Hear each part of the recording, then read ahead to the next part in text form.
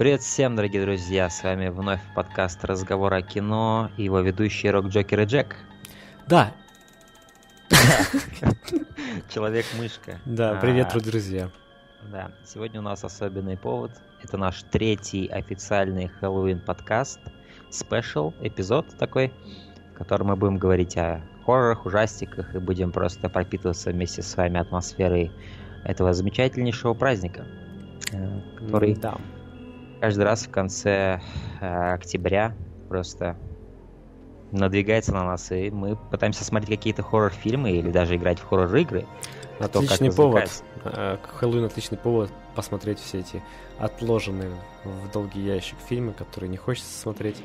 Но атмосфера вокруг этого праздника в интернете и где-нибудь еще, она позволяет окунуться как бы да, и не, ты никогда не примешь решение, например, подряд несколько хоррор-фильмов смотреть, да, все-таки это mm-hmm. можешь один-два посмотреть, но вот так прям подряд стабильно смотреть кучу ужастиков, как бы это не было здорово, mm-hmm. ты никогда не решишь в обычной обстановке.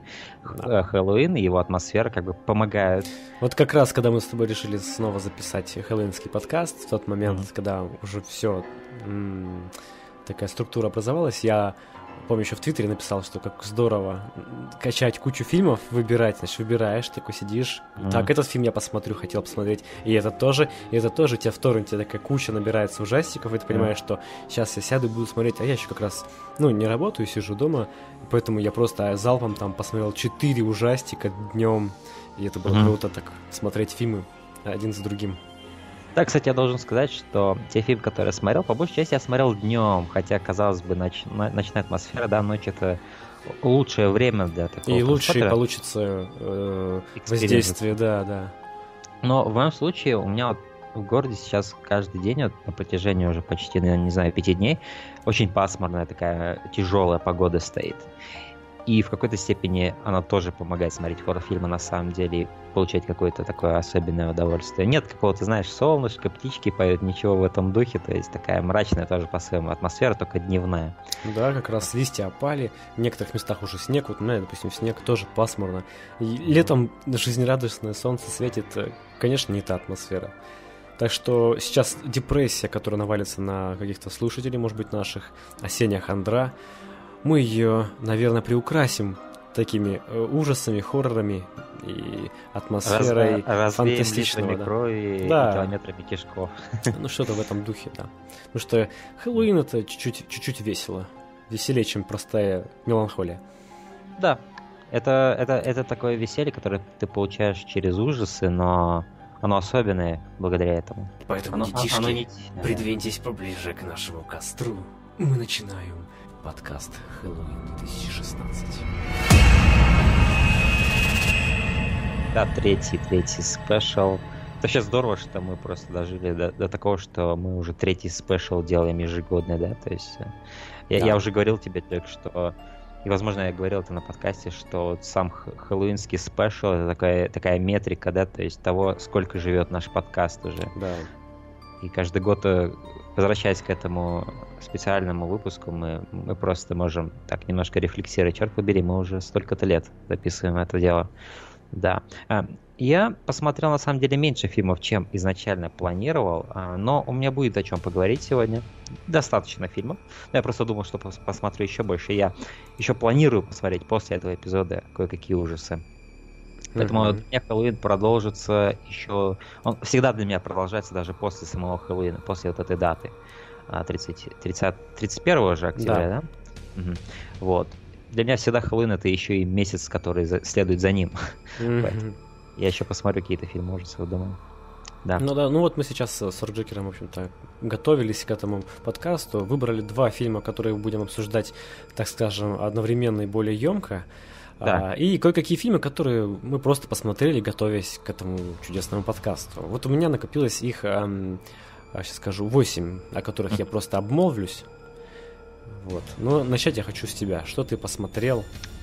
Окей, я тогда... Э, первый фильм, который я посмотрел для э, Хэллоуина, был...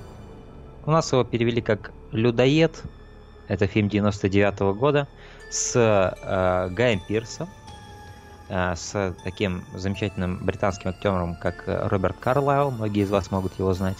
Дэвид Аркет здесь мелькает. В общем, много хороших на самом деле актеров, которые я даже не, не ожидал некоторых из них увидеть, когда садил за этот фильм. Но это фильм, который я хотел посмотреть уже очень давно. Он часто мелькал в разных рекомендациях, в разных листах тех фильмов, которые не все видели. Такие, знаешь, не особо известные даже в кругах тех, кто любит ужасы. А, вот. И, но те фильмы, которые стоит посмотреть. И, несомненно, этот фильм оказался таким. А, то есть я не был им разочарован. Это один из лучших фильмов, которые я посмотрел вот для этого подкаста. А какого года?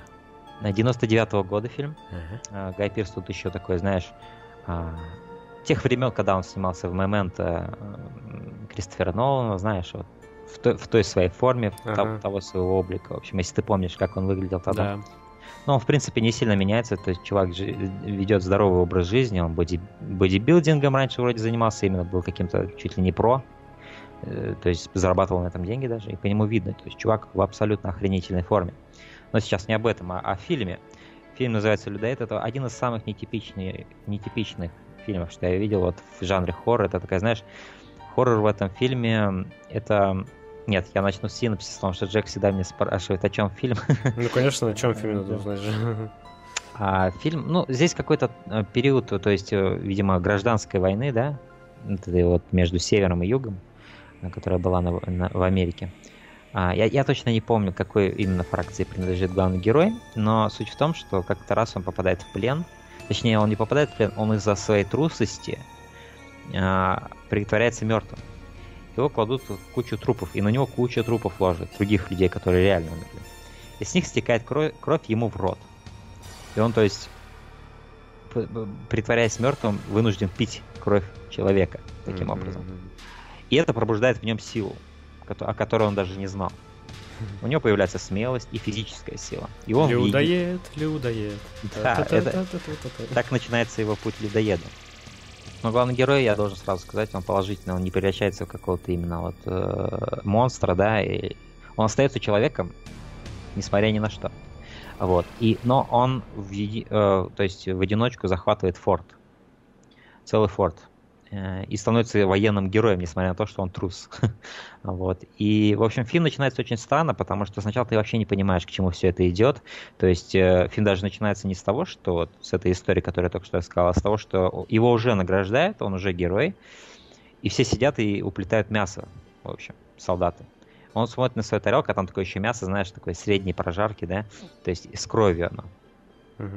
И ему отвратительно это, он не может на это смотреть. И ты не понимаешь, почему. И вот он, он метается, его вырв, рвет, в общем. Ты не понимаешь, в чем дело, почему он так себя ведет. И потом вот эта вот вся история рассказывается. И, в общем, весь фильм представляет из себя что? Что, по-моему, вот этот чувак, который награждал его, он на самом деле знает, что Гай Пирс, э, он как бы трус. Каким-то образом он это знает. Не знаю, то ли кто-то ему стучал, то ли что-то. Но им типа было выгодно, чтобы он был героем, чтобы вдохновить других, короче mm. на совершение, им нужно было поднимать дух.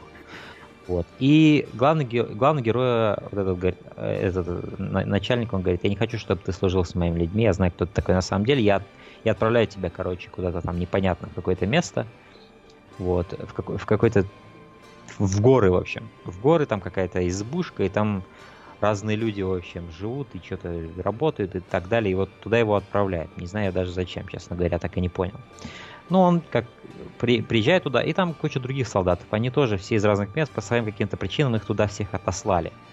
Его туда отослали главный герой, потому что он трус. И вот там разворачивается сюжет. И, в общем, этот главный герой сталкивается с э, людоедом.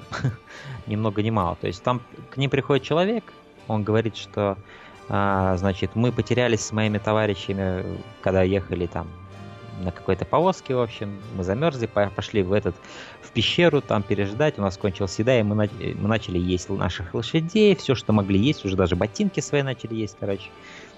И дошло до, до людоедства, в общем. Вот он говорит, помогите, там девушка осталась, ее могут тоже съесть, короче, и они все отправляются, эти люди из этой избушки. И, в общем, да, а дальше я не хочу спойлерить, что происходит дальше, но просто скажу тематически вот, и вообще стилистически, этот фильм очень интересный. Во-первых, он хорошо срежиссирован, но не срежиссирован с таким холодным профессионализмом, да, то есть тут есть какие-то более вольные кадры, смесь художественной режиссуры и режиссуры вот этой вот ручной камеры, да, то есть такой вольный стиль, на самом деле, у фильма.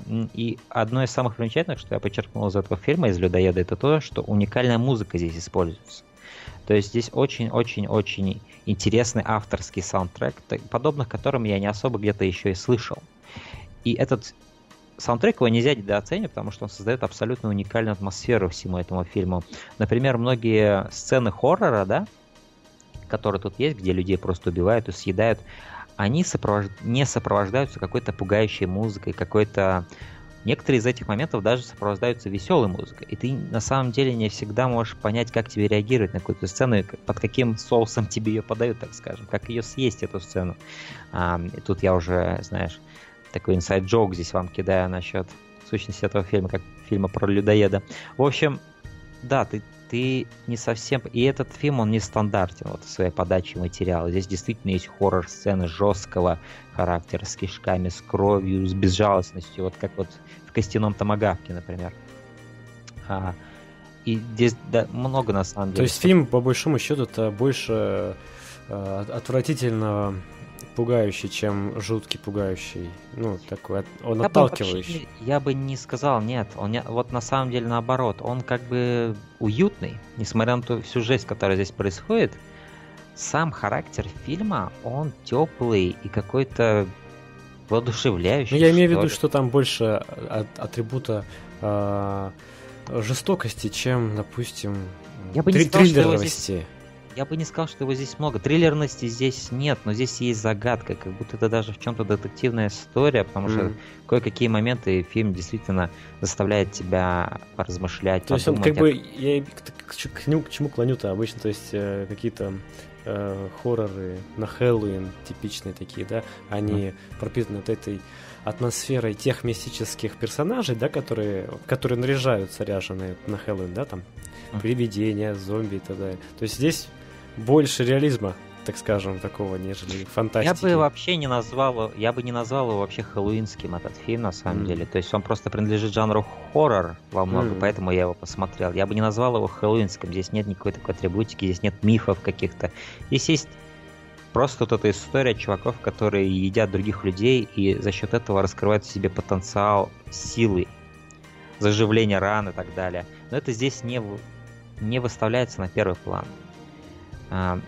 Здесь очень много вот именно а, погружения в атмосферу вот этих гор, вот этих лесов, которые, в которых происходит действие. Много зимнего э, здесь ландшафта и пейзажей, что очень красиво и очень здорово выглядит на самом деле. И нетипично. Вот мало фильмов зимой снимается, потому что, ну, потому что это просто сложнее делать зимой. Снимать, ходить с этими камерами. То есть это большой геморрой. Мало фильмов поэтому зимой. Понятно. Этот фильм не боится этого, и здесь много действительно вот снежных таких моментов. И этот фильм, он на самом деле вот очень сложно его на самом деле описать, потому что ты, ты, ты, ты, не всегда, ты, ты не понимаешь, что именно пытается этот фильм сделать. Вот где-то вот какие-то фильмы ты смотришь, ты можешь уже понять, что пытается фильм сделать, где он пытается надавить на тебя, да, чтобы ты его полюбил или так далее, да. Этот фильм, он как будто сам делает себя и просто не заботится о том, будет э, там зрителю интересно, не будет ему интересно, поймет он вообще, не поймет. Это просто фильм такой в себе, он сам по себе вот такой, какой он есть. И этим он на самом деле меня очень притянул. Поначалу, да, были какие-то скучные моменты, потому что фильм достаточно долго развивается. Он 100 минут идет, в принципе, но он такой так долго развивается и как-то не форсирует ничего. То есть вот когда он хочет, он энергичен. Когда он хочет, он задумчивый, долгий и какой-то это. Этот фильм, он такой, его не отнесешь и не, и не к артхаусу, и не к мейнстриму. Это вообще такой, таких фильмов я мало видел, на самом деле. И да, но мне он очень понравился, я очень вам советую за счет его атмосферы, за счет его музыки, за счет его персонажей. Тут куча персонажей, и смерти наступают у этих персонажей порой там, где вы бы их не ожидали на самом деле. И где-то, где вы думали, что один персонаж поживет дольше или меньше, это может не так оказаться на самом деле. И этот фильм просто развивается как будто вне конвенций каких-то, да, вне каких-то штампов. Таких фильмов мало, и за счет этого он уже заслужит. Просто вот главное, я бы выделил его преимущество и главный его плюс это вот уникальная атмосфера, которая за счет этих всех природных планов создается за счет музыки.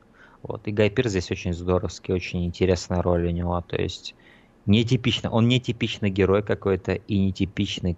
То есть он где-то он трусоватый, где-то он наоборот храбрый в каких-то моментах. И ты вот, ну то есть он как больше как настоящий человек ощущается, чем какой-то архетип. А, вот, и а, вот он и Роберт Карлайл здесь больше всего делит экранного времени, и, и они оба по-своему шикарные. Здесь это одна из лучших ролей Роберта Карлайла, что я видел, честно сказать. Поэтому, да, посмотреть этот фильм, он стоит вашего внимания. Я поставил ему 3,5 из 5. Ага. А, понятно. О, у меня фильм был такой... Я наконец-то посмотрел «Ребенок Розмари» 68 -го года Эрмана Полански. Ну, подобрался я к нему, да. И это самый страшный фильм из моего списка. Вот, это действительно страшная история, э, жуткая история о семейной паре, которая купила квартиру в таком многоквартирном доме и пытается там выстроить свою жизнь и зачать ребенка, желательно. Но соседи, которые рядом с ними живут, они непростые, старички доброжелательные, как казалось бы на первый взгляд, но у них тайна. Вот эта тайна до, до конца фильма, она такая, как вся вязкая тягучая, преследует зрителя. Очень классно вот этот подход и как правильная реализация этой, этой жуткой тайны мне очень понравилось. А, про этих стариков, то, что они поклоняются сатане, культу сатаны, и mm. хотят ребенка самого дьявола с помощью бедной Розмари получить путем ее yeah. а, плодотворения вот этим вот самым самим сатаной. Мне очень понравилось, как а, главная героиня здесь играет, то есть актриса как играет, она справилась с этой задачей, и так очень, очень получается как раз эта роль недальновидной девушки, которая не знает, как вообще жить, ну, такая в мечтах, простая такая, одуванчик вообще, вот, угу. ромашка, она еще такая стройненькая, худышка, просто хочет счастья человеческого, и ей так манипулируют жестко люди, у которых извращенные совершенно цели, ужасные, вот. Поэтому очень хороший фильм из старых э, хорроров. Ну, это не хоррор, конечно, но такой кровомесистый. Ну, я бы сказал, а, такой, да, такой психологический но триллер. Он действительно оказывает клевое воздействие, такой на тебя давит этой историей. Смотреть, наблюдать интересно. А, музыкальное сопровождение там такое интересное. А, мне еще нравится, как атмосфера такая 50-х, 60-х здесь наблюдается. Она такая интересная, как люди менялись. Знаешь, такие у всех резкие, четкие движения такие. Они так пренебрегают вещами, особенно мужчины этих времен. Mm-hmm. Они такие резкие. Mm-hmm. Как бы не пьют моменты, да, не пьют э, воздействие, взаимодействие с какими-то предметами, а очень быстро, резко так и делают все. Э, такая манера, присущая этому этой эпохе кино. Короче, Роман Поланский здесь молодец. Шикарнейшее произведение, шикарнейшая картина. Не знаю, кто на нее гонит. Есть у меня друзья, которые говорят, фу, какой то неинтересный фильм. Это... Я абсолютно могу их понять, хотя я не разделяю, конечно же, их точку зрения, но этот фильм, это он абсолютно не наполнен экшеном, каким-то бешеный какой, каким-то темпом или какими-то монстрами и так далее. Здесь очень все на таком очень на тонком уровне играется хоррор, и кто-то может его даже не заметить, возможно, но к концу по-любому заметишь, но вот в ходе фильма ты можешь заскучать. Но я нет, я не заскучал, я смотрел этот фильм, я смотрел его где-то пару лет назад, может даже три. Это один из самых известных фильмов Романа Полански, и он относится к его трилогии, квартирная трилогия у него есть такая. То есть вот он хотел снять в этих фильмах вот это ощущение запечатлеть клаустрофобии и, знаешь, какого-то зла, который может обитать в квартире. Да-да-да. Где ты заперт в своей квартире, и квартира это не твоя крепость, это твоя как тюрьма. Вот, вот. что-то в этом есть. Здесь тоже какое-то квартирное такое вот ощущение, что ты живешь в квартире, но за стенами у тебя нет ощущения безопасности, как будто за стенами враги. Там стена у них просто, ну, тонкая была, слышно было, как они там какие-то песни ночью поют. Блин, это пипец как жутко. Просто есть куча реаль, реальных историй, типа городских легенд, там, знаешь, где люди mm-hmm. рядом с тобой живут, они людоеды там тоже. Да. Что такое, сатанисты. И такие общества реальности существуют, и mm-hmm. поэтому от этого еще и жутче становится. Вот, поэтому я поставил фильму этому 9 из 10. Ну, я абсолютно рад, что ты так поступил. Да, он самый си- сильный по общей, общей по общему э, ин- составу ингредиентов, вот, да, э, mm-hmm. во всем отношении фильма, он на высшей степени степени. Вот здесь в этом фильме он э, Поланский что делает? Он берет нас, вот, вот а, главный героиня это как наш аватар, нас помещает в эту комнату, Э, в эту квартиру, точнее, и мы вместе с ней начинаем чувствовать эту клаустрофобию, мы вместе с ней начинаем сходить с ума, потому что мы не всегда уверены, действительно ли против нас ополчились люди, или это наше воображение играет с нами, и наше собственное безумие заставляет нас так думать, да? И да, вот ее там много раз переубеждают, то, что да нет, что ты это все. Да, это как тоже как такая определенная детективная история потому что пытаешься разгадать все-таки, бьется ли вокруг тебя какой-то заговор или нет, или это твоя точка зрения так с тобой играет. А, финал особенно эффективный, то есть настоящий хоррор в самом финале начинается. Uh-huh. А я смотрел другой фильм из этой трилогии квартирной, который называется, по-моему, «Квартирант», «The Tenant». Очень крутой фильм, где Роман Поланский играет главную роль. То есть uh-huh. он сам главную роль. И он очень хорош как актер на самом деле. И тот фильм тоже очень здорово, он очень пропитан психологизмом. Там чувак заселяется в отель, и медленно все начинают против него ополчаться. И там еще такая предыстория, что кто до него жил в этом номере, покончил с собой, выпрыгнул из окна. А, и это как бы тоже... Надо тоже посмотреть. главный герой тоже такие мысли, что а вдруг я когда-нибудь выпрыгну из окна, вдруг здесь какой-то зло обитает в этой квартире. Mm-hmm. Вот, вот, вот, вот, знаешь, многое завязано у него на вот этой вот страхе соседей. И того, как если ты не подружишься с ними, они могут свести тебя с ума. Потому что это люди, которые живут рядом с тобой. Mm-hmm. Хоть у вас и всех своей жизни, но все-таки вы друг с другом взаимодействуете и влияете друг на друга. И вот Поланский, видимо, был очень этим заинтересован в свое время, потому что подряд вот эти фильмы снимал. А, я, я не знаю, какой из них мне нравится больше, «Ребенок Розманери» или этот «Квартирант», но оба фильма офигенные. Ну, хорошо. Больше хоррорный такой. Что у тебя на очереди? Помнишь, мы с тобой в самом начале, когда мы с тобой только начинали делать этот подкаст, мы с тобой рассказывали про 2011 год. Мы говорили там о драйве впервые. И мы mm-hmm. говорили там о фильме «Впусти меня». Let me in? Да. Финский? Нет, мы говорили об американском. С Хлоей Грейс? Да, мы говорили да, о нем. Да, да, да, помню. Я там очень был, сильно хвалил этот фильм. Мы с тобой оба его хвалили за его атмосферу, когда мы еще плохо могли передавать свои мысли на подка... в подкасте, да, и мы просто... Ой, я до сих пор-то не умею. Мы, мы пытались... На... Нет, ну ты уже стал гораздо лучше. А, мы, мы пытались нащупать, что же нам нравилось в этом фильме, и мы все говорили, что в нем такая атмосфера, да, особенная. Атмосфера, атмосфера. В общем, облизывали слово атмосфера, да? Да, и даже приводили драйв, например, хотя где-то можно сравнить драйв с этим, но мы, в общем, нащупали, что и там, и там атмосфера была очень здоровская, поэтому полюбили эти фильмы. Может, даже не за сюжет, сколько за атмосферу. То есть ты его я... пересмотрел, да? Нет, я посмотрел оригинал. Я Финский. Оригинал. Да. Вот, да. Он тоже клевый. А я, не, я не уверен до сих пор, какой мне фильм понравился больше, потому что тот фильм, черт побери, сколько лет прошло, ну, года 4, наверное, когда я тот фильм смотрел. Тот фильм вышел в 2011, по-моему, ремейк, да? Или даже, да, в 2011 раз мы, а, 2014, да. да. Оригинал вышел в 2008 году, вот. И Сейчас я, конечно же, не могу провести адекватное сравнение, что из них лучше. Я mm-hmm. просто могу сказать, что оба фильма очень крутые, очень здоровские. И вот этот финский фильм, это он, он оказался лучшим из тех, что я посмотрел для этого подкаста. Он действительно лучший по всем фронтам. И на сюжетном уровне того, какие идеи придуманы были, какие новые, какие-то интересные я не знаю, повороты были придуманы для... И согласись, что у него есть собственная своя подача, Ты да? смотрел? Ты смотрел? Да, конечно, да. Я сначала посмотрел финский, потом посмотрел американский. А, вот как интересно.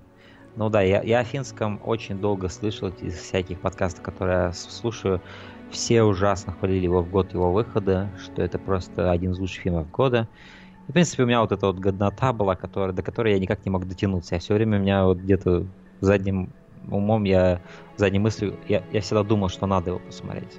Вот. И да, у него есть, у него своя абсолютно... Ну, хотя сюжет очень похожий, но я скажу, что вот я не буду сравнивать их на режиссерском уровне, но на сюжетном уровне я уже могу сказать, что финский мне нравится больше.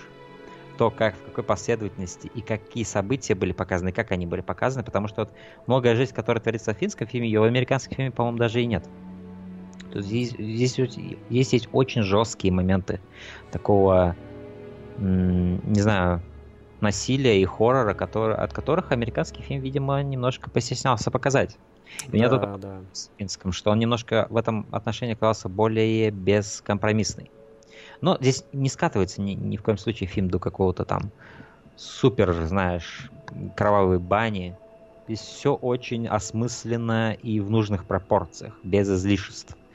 А, то есть, если фильм хочет какую-то показать мысль, он, он делает именно столько, сколько надо. Он не перебарщивает с этим, не делает насилие центральным каким-то событием всего этого. Еще, знаешь, что классно идет в плюс, то, что это финский. Вот мы привыкли, да, к американскому кино, и какие-то вещи в американском э, кино мы как бы смотрим, они как будто в центре мира, да? Нам кажется, по каким-то причинам неведомым, да, так подсознательно. Это как бы в центре чувствуется. А Финляндия, она и географически на периферии, да, вообще мира находится. И мы не знаем о кино финском толком ничего, как поп-культура, как поп-культура такая, да, распространенная. То есть он как бы отрезанно смотрится от мира, и все происходящее в нем еще больше поэтому нагоняет жути, потому что это мир отрезанный, как бы кажется. То есть как бы нет эффекта попсовости, нет да, эффекта нет эффекта попсовости. предыдущих ассоциаций с какими-то актерами. Вот, да, да. Это, это всегда на самом деле здорово, поэтому зачастую интересно смотреть иностранное кино. То есть я уже говорю о американском кино, как о нашем кино, потому что мы все время его смотрим. А, ну да, то есть иностранное кино, оно тем всегда интересно. Европейское. Что, да, что да, не обязательно европейское, даже азиатское. Тем оно интересно, что все вот эти люди, ты их первый раз видишь, и поэтому истории, которые они рассказывают, они тем более подробно. Да, они живее кажутся, да. Да, да. да ты не думаешь, а вот этот актер раньше там играл, там он сыграл лучше или там и хуже. То есть ты, ты просто видишь вот этих людей и все. И это а... история для них, да, а не то, что вот Хлоя, Хлоя там снималась ну, и знаешь, там, и там, и, ее истории yeah. накладываются. На тот момент, да, это мы сейчас так смотрим. На тот момент Хлоя тоже была особо неизвестна. И вот Эйса mm-hmm. Баттерфилд тоже не особо если он там играл, я точно не помню. По-моему, он играл. И, кстати, в ремейке они очень здорово тоже сделали ту вот эту оторванность, то есть вот этот такой город, непонятно, вот эти дома, вот эта заснеженность, вот эта атмосфера, нету, ты не можешь прицепить к какому-то городу то место, да, где происходило в ремейке, так же, как вот в оригинале. Вот. Это просто есть такое место со своим сообществом, своими соседями какими-то, какими-то людьми, которые вот в эту школу ходят, да, и ты не можешь определенно сказать, где именно это происходит. Это может происходить где угодно. И не обязательно, что это в фильме. Это могут быть кто угодно. Это такая универсальная история получается. Ну, своего рода-то да. И вот это вот оформление, оно очень подходит вот самой истории, которая рассказывается. Про вот эту девочку-вампиршу, которая, скажем так, она меняет своих попутчиков. Они становятся mm-hmm. старше, они... она-то не взрослеет, то есть она в своем вот этом состоянии так и находится, вот этой девочки. Да, потому что она вампир, и она не стареет, да. Это такое очень интересное обыгрывание вообще мифа вампира, потому что она здесь не может зайти в чью-то квартиру, если ее не пригласят. Да, мне очень да, понравился есть... этот момент, когда если ее не пригласят, она заходит, и она начинает стекать кровью. То есть да, да, это да. правило всех демонов, вампиров, то есть нужно пригласить да. приглашение именно. Да. И здесь нет такого, что она какой-то злодей, она питается, потому что ей надо жить, она питается людьми, а у нее нет какой-то э, зла в ней, да, какого-то э, mm-hmm. врожденного, что типа я вот вампир, я такая, я, я, я есть зло, и я буду всех уничтожать, я буду уничтожать жизнь. Ей нужна жизнь других, чтобы поддерживать свою жизнь. И это единственное, почему и, она это делает. И, и мальчик тоже, у него такая жизнь не очень хорошая среди обычного социума, да, что он нашел утешение в монстре. Казалось он отшельник, да. Так же, как и она в какой-то степени, потому что она не может тоже поддерживать со многими людьми. Два одиночества может... нашли друг друга. Да, и ты вот видишь эту зарождающуюся дружбу вот этого, так скажем, отщепенца общества, которого все шпыняют. И вот этой девочке, и она как-то даже учит его чему-то, как что надо постоять за себя, и он становится лучше благодаря ей, да? Угу. И ты просто пропитываешься симпатией к этому вампиру. Это не часто так показывают вот этих мифологических существ, как вампиры, вот таким образом, да, нигде, по сути, и не увидишь такого. В основном вампиры эксплуатируются как элемент зла, как элемент того, с чем надо бороться. В этом фильме это как элемент того, что это такие же могут быть личности, как и ты, ты сможешь с ними подружиться. Это вот интересный сам по себе твист на жанре. И интересно, что здесь изображается отношение детей и, и ребенка вампира, потому что она все еще ребенок, как бы, ну, хотя уже имеет, имеет такой опыт, как будто взрослый человек. Но все равно здесь очень классно показано отношение детей на хорошем таком душевном уровне, не на каком-то таком посредственном. Да, правдоподобно, на самом деле, я бы сказал. Вот поведение всех детей, вот вообще всех, которые есть в этой фильме, оно очень правдоподобно. Вот этих даже хулиганов школьных, они очень правдоподобно себя ведут. Я много делал имел с хулиганами. А, я даже дружил с хулиганами. Я был по обе стороны. Я был и тем, кого шпыняют, я был тем, кто шпыняет других. и в чем я, я абсолютно чем я не горжусь. И то, как это было изображено в этом фильме, это очень похвально, потому что все это было очень правдоподобно сделано. И снято просто очень здорово, реалистично. То есть тебе приятно смотреть на фильм, но при этом он не какой-то гаулидизированный, какой-то супер, супер глянцевый и супер, я не знаю. Он просто, он умудряется быть и красивым, и в то же время быть реалистичным.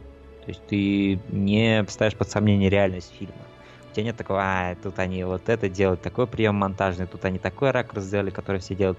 Фильм очень органично, очень здорово развивается, даже есть какие-то уникальные, на самом деле, ракурсы и планы. Да, просто интересно даже на уровне просто от кинолюбителя смотреть, как это было это кино сделано. Есть своя доля юмора в этом фильме, немало даже ее на самом деле. А в том даже, как вот самые ужасные моменты этого фильма некоторые есть, даже они с каким-то юмором подаются, например, что-то происходит, и кто-то реагирует каким-то образом, это может быть даже смешно. Ну да, то есть этот фильм так тоже отлично танцует на грани серьезности и в то, в то же время не воспринимать себя слишком всерьез. Да? Тебе не кажется, что этот фильм слишком много о себе думает и слишком думает, что я здесь ломаю все жанры, я просто шедевр. Нет, вот такая честность какая-то присуща этому фильму. А, посмотреть этот фильм, а, это очень здоровский фильм, и даже если вы смотрели американскую версию, финская абсолютно заслужит того, чтобы ее заценить. Я, я не берусь сказать, что лучше. А, вот. Мне обе версии очень понравились. Ну, давай пройдемся дальше. Я не буду задерживаться слишком много на следующем фильме. Это фильм «Человеческая многоножка», который я давненько хотел посмотреть. Первая часть? Да. А, Ее еще помню об обыгрывали, что ли, короче говоря, в Соус-парке. Помню, mm-hmm. я даже первый раз в Соус-парке видел эту пародию. Но все еще теплилась надежда мне посмотреть этот страшный и ужасный фильм. Короче, он на 5 из 10, да, для меня такой он. В нем есть жуткая ужасность, потому что сшить трех людей, да, сделать из них одну пищеварительную систему, это противно, мерзко и жутко. И это оригинально для хоррора. Больше такого нигде нету, чтобы сравнить. Это реально жутко, противно. Вот этот хирург, который живет на окраине, больной своей идеей, да, сделать вот эту вот многоножку да. человеческую. Это все противно мерзко. Да, прикольно. Сама идея. Все остальное, да, режиссура и... Да, вообще, в принципе, режиссура. Она какая-то слишком м- простая. Непримечательная. Такая, непримечательная. Вот, больше для меня, не сказать. Для меня, для меня этот фильм, для меня этот фильм, я его тоже посмотрел меньше года назад. Uh, тоже долго я собирался его посмотреть, все говорили о нем и так далее, что это один из самых страшных. Во-первых, это не один из самых страшных. Это просто отвратительный фильм в плане да. того, что ты видишь его в нем. То есть это такой вот именно э, фильм, который сделан как будто для цели, чтобы тебя вырвало. Uh, Что-то и... типа того, да. Хотя не совсем он исправляется, чтобы вырвало, да, но тему затрагивает, ну, неприятную. Ну да, и само изображение людей, как им вот эти вот ягодицы разрезают там и пришивают. К... Хотя сам, сам процесс нам не показывается, но ты ну, можешь это Нет, там частично, там частично показывают, но это не, не так уж реально даже выглядит, если честно. Ну вот когда это они вот э, пытаются сбежать, их и рты друг к дружке при, при, присобачены к задницам, да, и вот они вот все, он их там, он, он им там даже, по-моему, то ли коленные чашечки ломал, то ли что-то такое делал, чтобы да, они не могли встать. Он им разрезал что-то, чтобы не выпрямлялись ноги. Сухожилие, там что-то он им там. И вот те моменты, где вот, знаешь, этот же момент классический, когда жертва может сбежать, но делает какую-то глупость и не может из-за этого да. сбежать, да? Здесь таких полно в этом фильме. Момент, где ты, ой, какая же дура, ну что ж ты делаешь? И вот этот момент, когда такие моменты, они в основном отрывают тебя от того, чтобы просто проникнуться в атмосферу фильма и поверить, да? А, ну, конечно, здесь ни о каком не, говорится, реализме и так далее, но та вера, которая я говорю, это вот та вера, когда ты просто погружаешься да, в атмосферу фильма, это просто уже какой-то внут... следуешь какой-то внутренней логике да, произведения. И за счет этого ты можешь твой интерес подпитывается, и ты с интересом смотришь. Здесь таких вот моментов, обрыва вот этого интереса довольно-таки много. И сам фильм в конце, когда я его посмотрел, вызвал у меня ощущение просто одно, э, то есть два, да, два ощущения. Это отвратительно и бессмысленно. Я не понял, зачем этот был фильм сделан, то есть вот я, я не всегда требую от фильма какой-то морали в конце и так далее, да, но ты можешь все-таки понять, да, что пыталась, пытался автор донести, какую-то эмоцию или еще какую-то, да, что-то в этом роде. Здесь после этого фильма в конце я просто не понял, зачем я все это посмотрел даже. Mm-hmm. То есть я вот просто вот, окей, здесь люди пришивали рты к задницам, их заставили страдать, да, таким вот отвратительным образом, который никто до этого не делал. И вот для меня вот это вот вообще как будто это единственное, что этот фильм сделал. Сделал то, что другие никто до этого не делал, но... Так и есть, так и есть. Он просто показал извращенную вот эту вот натуру автора. И потом еще есть две части других, знаешь, да? Да, где... Где многоножка еще... увеличивается. Там вторая часть... Я не смотрел, я просто посмотрел трейлер и понял, что дальше смысла я... нет смотреть. Я видел скриншот, где там просто... Я не знаю, ну 100 человек, наверное. Это в тюрьме, там тюр- тюрьму всю пришили друг к другу, ну то есть всех да. заключенных. Причем там играют те же самые актеры, и они вдохновляются да. именно в первым фильмом. Ну это такой кич уже. Ну да. Вот. Да. Так что давай не будем задерживаться. С какой у тебя фильм еще есть? У меня в фильме есть «Принц тьмы», или как у нас вот перевели, по-моему, «Граф тьмы» или что-то такое. Это фильм э, Джона Карпентера, который я хотел посмотреть давненько. Вот. Угу. И очень много позитивного я о нем слышал. Как один из лучших фильмов Джона Карпентера. Как, то, то есть просто вот как вот один из самых его, одна из его классик. То есть многие говорят, а вот вампиры кто-то любит, кто-то не любит, там, да. А, тот же в пасти безумия, о котором мы говорили с тобой до этого, Джек. Угу. Кто-то любит. Мы с тобой оба не были впечатлены довольно-таки сильно.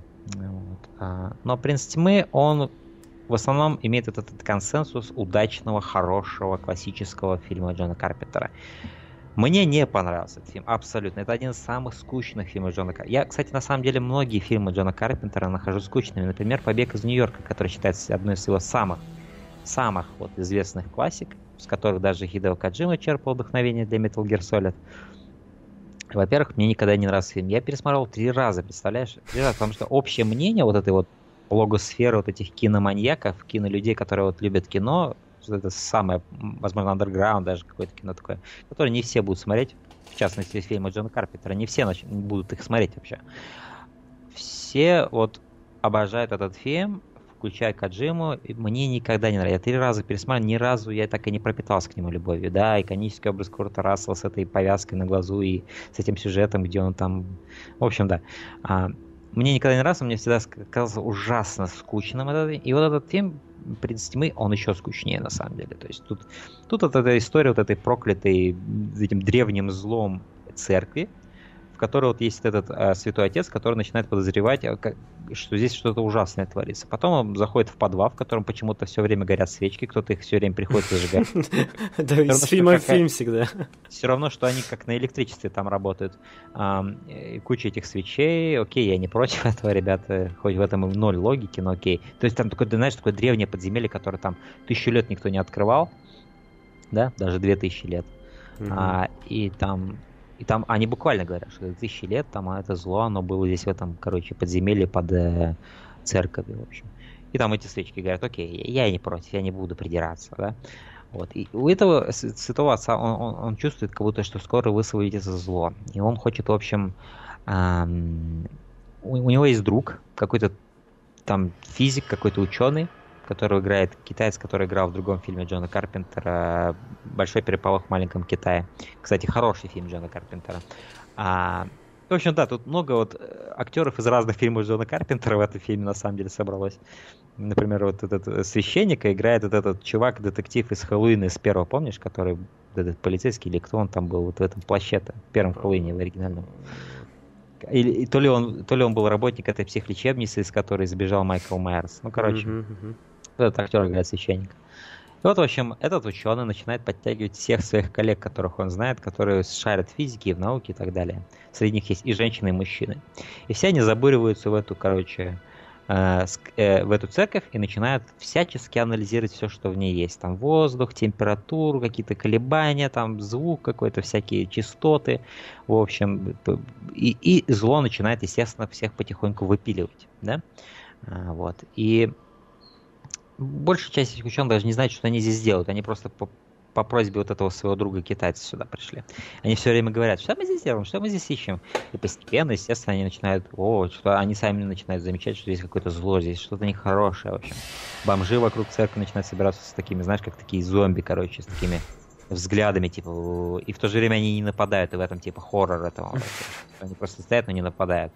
Вот. И, в общем, этот фильм, он полностью происходит в церкви, очень много повторяющихся сцен в, в определенных комнатах, так что ты как-то понимаешь географию места, да, ты понимаешь, где что происходит, это я в плюс записываю этому фильме. Я люблю такие фильмы, на самом деле, и Хэллоуин я обожаю из-за этого. Потому что это, это, это соседство, да, ты вот знаешь, где какой дом находится, где в какой комнате кто что делает, потому что вот часто повторяющиеся сцены в определенных локациях. Я всегда это очень люблю. Это привязывает тебя к месту. И вот здесь Джон Карпентер делает это. Но сам фильм, его вот подача, его темп, да, он, во-первых, ну, он 101 минуту идет, не так уж сказать, чтобы супер долго, но он чувствуется, как будто ты смотришь вот 3 часа. Здесь, то есть, вот все эти диалоги, они все такие какие-то, не знаю, на поверхности очевидные, вот эти хоррор-диалоги, вот этих типа, о, а что мы тут делаем? О, а тут у нас есть вот эта вот сексуальная девушка, и за ней кто-то преудаляет, и, то есть, э, вот эти, знаешь, вот эти вот моменты вот эти вот, которые строят этот хоррор, типа вот ты сначала знакомишься с персонажем, тут будет какая-то сексуальность, здесь будет какие-то гики будут, да? да. То есть сюда, то сюда, то, то, то, ты все это знаешь, то есть ему, я не против этого, но то не знаю, вот что-то есть в этом фильме, то как вот построены диалоги, как вот сами сцены друг за другом идут и их наполнение. Я был ужа... я, я был ужасно мне было ужасно скучно. И сам, вот фильм называется «Принц тьмы». Во-первых, здесь нет никакого принца тьмы в этом фильме. То есть весь фильм ожидаешь, что здесь будет какой-то чувак, какое-то существо из ада, которое вот этот будет, возможно, князь тьмы. Как, кстати, князь тьмы и перевели этот фильм, вот я вспомнил. Вот этот князь тьмы будет, возможно, да, он материализуется из ада, да, и вот он, возможно, захочет какое-то зло там в конце. За весь фильм нет никакого князя тьмы вообще. Это очень разочаровывает, потому что я все время ожидал фигуру злодея какого-то, возможно, иконического такого персонажа, который вот запомнится, да, как, например, вот в фильме Крик это этот чувак с этой маской, да, например, Фредди Крюгер, это Фредди Крюгер, все его знают, да, Майкл mm-hmm. Майерс. Хэллоуин это что-то иконическое с этой маской, с этим э, ножом. А, здесь нет такой фигуры. Здесь есть просто вот эти люди, которые постоянно не знают, что происходит. И да, здесь есть моменты хоррора такого очевидного, такого именно показного, но они какие-то слишком, не знаю, малоэффективные, мало эффекта они на меня произвели. И здесь вот это есть какая-то вот это присущая даже побегу из Нью-Йорка, вот это вот я даже не знаю, как это точно сформулировать, но у, Джо, у Джона Карпентера есть какая-то неуклюжесть в определенных моментах. Когда он какие-то сцены снимает, то ли он показывает что-то энергичное, но снимает это не энергично, и из-за этого это кажется фальшивым и каким-то неубедительным, да, и даже комичным в каких-то отношениях. Э, да, то есть вот, например, если вот в Побег из Нью-Йорка здесь есть такие моменты крутые, где вот Снейк Плискин такой крутой, он, в общем, там что-то делает, но вот это снято так, что ты не видишь, что он крутой. Ты понимаешь, ты понимаешь, что тебя хотят выставить этого персонажа как крутого, но тебе он не кажется крутым. Снейк Плискин мне почти никогда не казался крутым на самом деле в исполнении Курта Рассела, хотя для многих это символ одного из самых крутых персонажей в истории кино. На, на одной ступени там с Рэмбо и командой и так далее. Uh-huh. А, для меня нет. И вот э, то же самое транслировалось сюда, только в плане хоррора. Здесь есть какие-то моменты, вот, где вроде тебя хотят напугать, но все это кажется даже как-то э, как-то смешно иногда. И самое вот главное преступление фильма это то, что он ужасно скучный это один из самых скучнейших фильмов Джона Карпентера, возможно, самый скучный, что я видел. Я, блин, порой хотел перематывать просто и смотрел mm, на время. Да, проверял, уже... как, когда фильм кончится, когда фильм кончится. И это самое ужасное, что может быть. Поэтому я поставил фильму 2 из 5. Ну, то есть это ниже среднего. То есть здесь есть хорошие моменты, здесь есть хороший сет-дизайн, хорошие идеи в плане вот кое-каких вещей, которые происходят, даже в плане хоррора, вот, визуализации. Но все это кажется порой картонным, притворным и неэффективным. И скучным. Да. Это, это все, я больше не буду говорить. Окей, вот это сейчас последнее предложение бери и от моих слов перекладывай на Хэллоуин того же Карпентера, который, о котором я сейчас поговорю. Uh-huh. Потому что те же самые ощущения у меня возникли во время просмотра Хэллоуина. Того самого оригинального, оригинального иконического, который все так облизывают. Нет, о нет, и я в том числе. Вот, и, и для меня никакой магии не совершено. Я не Ой. знаю, может быть, для 78 года это было крутой фильм. Но я пытался, пытался воспринимать uh-huh, этот uh-huh. фильм как икону. Да, я понимаю, что это ну, то есть 78 год, Джон Карпентер, убийца в маске с ножом, ну, тут уже круто, все дела. Понятно, почему Хэллоуин, ну, но вообще никакой магии, никакой скучной. Я вот тоже перематывал, чувак. Для меня у Карпентера два крутых фильма есть. Это «Нечто» и «Кристина». Вот это фильмы, mm. которые действительно что-то заявляют о себе. Хэллоуин для меня вообще никакой роли не сыграл. Та же mm картонность, та же тягомотина, никакой страха, ничего, никакого интереса. Просто чувак ходит с ножом за всеми, и это должно быть страшно. Мне не было страшно. Ну, Для... Этот фильм, его важность в чем? Это, можно сказать, оригинальный слэшер-фильм. Да, его... оригинальный слэшер-фильм. Ну и хорошо, все, 40 лет прошло уже, хватит. Он пускай Знаю. там и остается. Для меня, для меня фильм абсолютно сохранил свою магию, во многом потому, что здесь тебе показывают простых людей вот в этом, вот в этом субурбии в этой, да, где. Так вот их слишком живут. много, вот это вот простых людей, они там по телефону болтают. Мне это вот нравится. Это вот вот это, я а. ощущаю, что я вместе с ними по телефону болтаю. Да насрать, тебе давай ножом их режь, чувак. я вот этот фильм. Нет, нет, нет, ты, ты упустил весь, всю, весь смысл, почему это так тебе много показывают людей, потому что иначе ты бы в конце бы, ну ты, я так понял, и, и, и, и все равно не ощутил, но вот ты бы не ощутил вот то, что ты должен был ощутить, когда этих людей убивают. Тебе да, надо, чтобы тебе их так много показывать, чтобы в конце... Но мне их все равно не стало жалко даже. Я понимаю, да. Я не, не переживал. Как бы они ни показывали. А я умею смотреть кино, чувак. Ты мне знаешь. Вот это, мне вот это нравится то, о, о чем я говорил ты запоминаешь все эти места, и ты ощущаешь, что ты один из этих соседей, которые вот ходят друг к другу в дома, кто-то сидит там, сидел, когда с каким-то ребенком, вот это в Америке было очень распространено. Да, да, те времена как раз.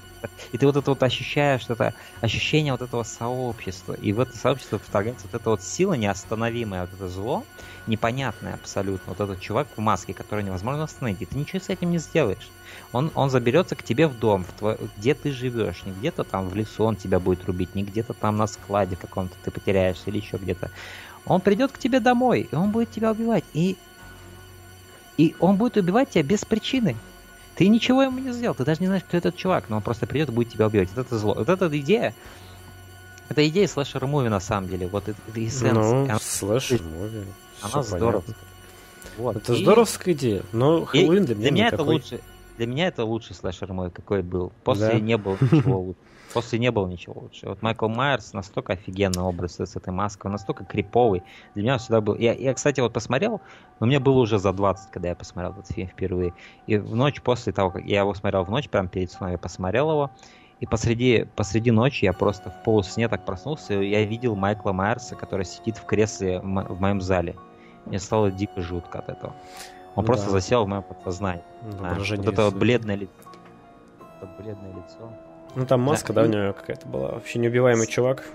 И со мной такого никогда не происходит. А этот фильм он оказал эффект. И вот эта простая музыка электронная, которую Карпентер сам написал, она настолько эффективна. Ты, ты, ничего... ты, ты. Ну, вот эта музыка, да, она, она вообще пошла во много теперь э, ремиксов. И она действительно слышна везде. Это мотив известный. И Нет он как бы как Хэллоуин. Для него, вот как праздник Хэллоуин, это можно сказать, эта музыка открывает.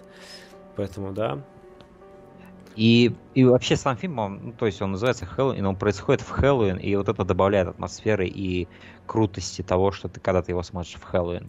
Это, это именно, я считаю, классика Карпентера, это его лучший фильм, я считаю, и я, я тоже люблю нечто, я, то, я даже люблю вампиры, а, которые многим не нравятся, я очень люблю вампиры. А, но вот Хэллоуин, не знаю. Ну смотри, один... короче, чем хороша индустрия ужасов, то что она производит очень много разных разных фильмов на разные тематики, да, вот в том числе слэшеры, про убийц, их тоже много.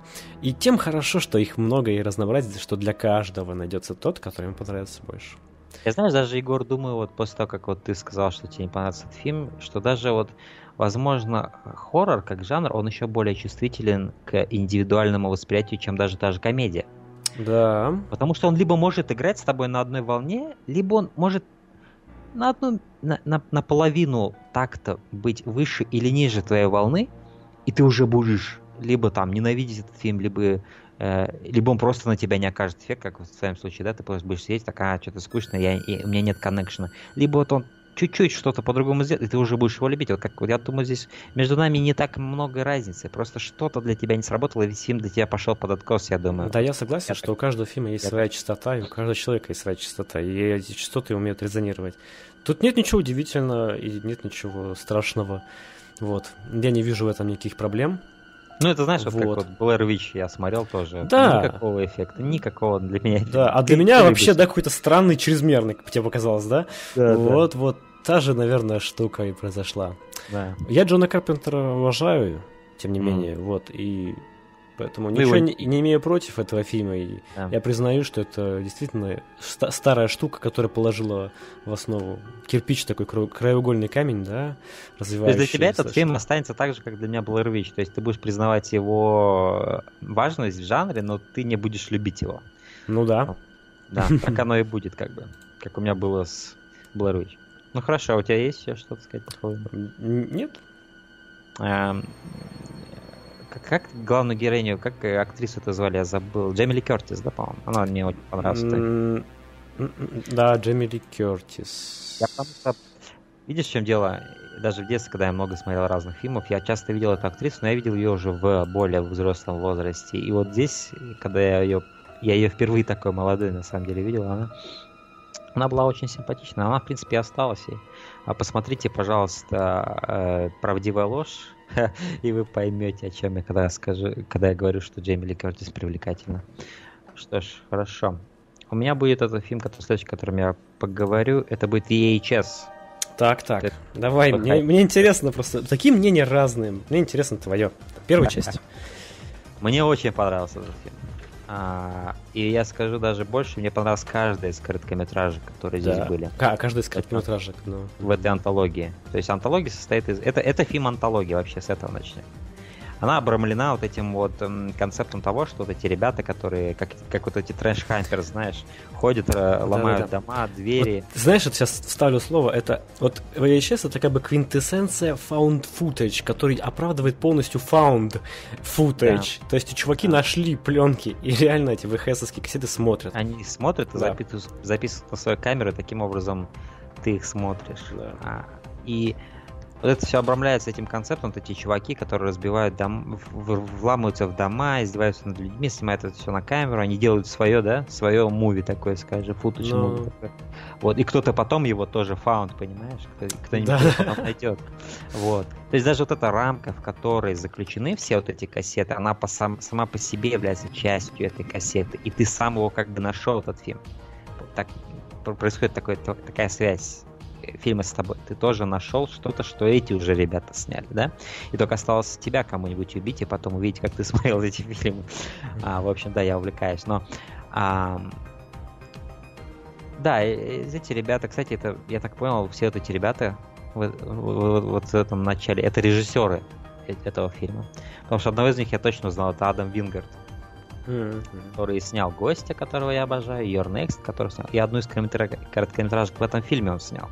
И он один из этих ребят, которые вламываются в дом, находят эти кассеты, этот чувак там позади него сидит, мертвый, в кресле.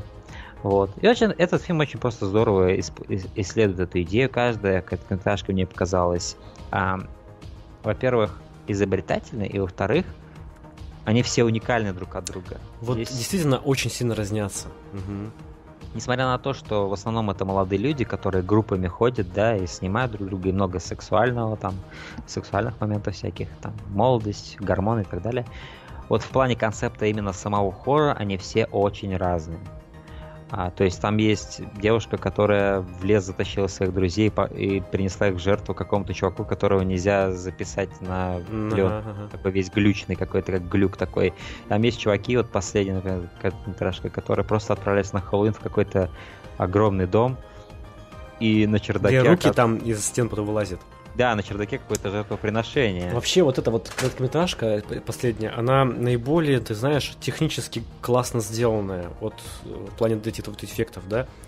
Я бы сказал, что эти эффекты уже устарели. Вот. Они устарели, и... но в рамках вот этого трясущейся камеры, да, они выглядят очень классно, правдоподобно. Потому что есть много found footage, а я, ты знаешь, у нас эксперт, да, в нашем да. подкасте по этой херне. Эксперт по спор- в спорах с found footage. Да. Вот, я досмотрел дофига, и есть вот этот вот прием, когда Да. происходит какая-то необъяснимая штука, да, и камера на нем так наезжает и снимает это все так. То есть это акт. Я снимаю, как происходит штука, а они просто бегут, это вокруг них просто происходит. Они не застряют Да. на этом чем-то внимание, да? Просто там вылазит что-то, ты даже можешь не успеть. Я даже помню, перематывал, чтобы посмотреть еще раз там. Думаю, нифига, блин, ну и жуть. Конечно, это все выдумка и понятное дело, но черт возьми, это как хорошо работает. Мне понравилось, когда они просто бежали по коридору, и там просто вороны из одной, как, э, из одной комнаты в другую, такая стая ворон пролетает. Понимаешь? Это просто такой интересный, креативный Да. момент. Даже не вот эти руки, вот это просто вот эти вороны, которые из одной комнаты в другую Там вообще много чего происходило в этот момент, в этот Да, короткометражке, да, в этот да. момент очень много разного всего, такой сумбур, как бы полтергейст в своем пике в каком-то невероятном. И да. Вот, и первая короткометражка, это вот эти вот ребята, которые отправляются в клуб, да, они там А, гуляют, про Сукуба. девчонок, про суккуба, да.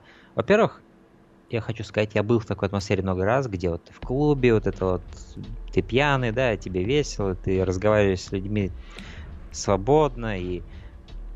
То есть вот они за- запечатлели безупречно просто эту атмосферу клуба, атмосферу полуночного вот этого безумия, когда ты ходишь по городу, ты, ты делаешь те вещи, которые ты бы никогда не делал, ты Да, отрываешься от реальности. ты отрываешься от своих привычных норм, да, Да. какой-то морали. Ты, ты остаешься нормальным человеком, то есть ты не будешь там убивать людей или там насиловать кого-то или еще что-то такое. У тебя есть все вот эти нормы, но ты будешь, ты, ты раскрепощаешься, скажем так, одним словом. И вот это а- ощущение вот этой вот веселья вот этого, и вот того, как вели себя вот эти люди, да, вот эти друзья, ну, вот просто безупречные. Я, я мало где такое видел. Чтобы так правдоподобно ощущалось вот это... Я, я даже начал скучать по этим временам, когда я ходил в клубы, честно сказать. Мне просто захотелось заново пережить, когда ты вот раскрепощаешься и отбрасываешь в сторону все, что сковывает тебя в нормальной жизни. Ну а как тебе вот эта девушка? Ты- Как ты тебе вот этот взгляд ее? Ее бешеные глаза, они меня сразу испугали, когда она стояла в Они пипец «I like бешеные. you». Вот ты знаешь, я смотрел этот фильм очень поздно ночью один, и вот эта короткометражка началась, и когда я прямо мне в монитор, вот в глаза смотрит эта девчонка, мне захотелось отвернуться реально. И я даже промотал эту короткометражку потом чуть-чуть. Потому что что-то мне не по себе стало, мне потом еще кошмары снились после этого. Это первый раз, когда так сильно на меня впечатление произвело, потому что у девушки реально прозающий взгляд. Да, и он такой не из мира сего. То есть что-то в ее мозге сломано, ты ощущаешь, что она вроде вот стоит, она одета, как по случаю, да, для клуба так сексуально одета, так все. Но в то же время что-то в ней не то, что-то... И сразу было понятно, что что-то плохо будет. Да. Э, Вот. И мне дико нравится, ну, как я уже сказал, вот эта вся атмосфера запечатлена безупречно, вот этого ночного безумия, ночного веселья. Все люди, вот все диалоги, все, все, что они говорят, все правдоподобно, с мелкими исключениями, может, какие фразы, там, какие эти. Но в остальном очень здорово. Поэтому ты проникаешься этой карташкой, и когда она кончается, она производит на тебя такой эффект. Сама концовка охрененная, если ты ее помнишь. Как вот самый последний кадр, как оно кончается. То есть она просто воздух его поднимает, Мгм. и на какой-то момент он видит, что у нее крылья, она его куда-то уносит, его очки с этой камеры, они падают, и ты просто начинаешь представлять, что она с ним сделала дальше, куда она его унесла вообще. И просто как это технически было реализовано, это было охрененно. Вот как они долго падали, очки вертелись, и ты прям ощущал, как они через воздух летят вниз, и как, как высоко они, да? С какого высокого места они летят. То есть как, как высоко она его уже унесла. Ты просто думал, о, что, бедный парень. Ну да, это была офигенная короткометражка. Я не помню точно, в какой хронологии, да, происходили вот эти вот все... Но она была, по-моему, первой.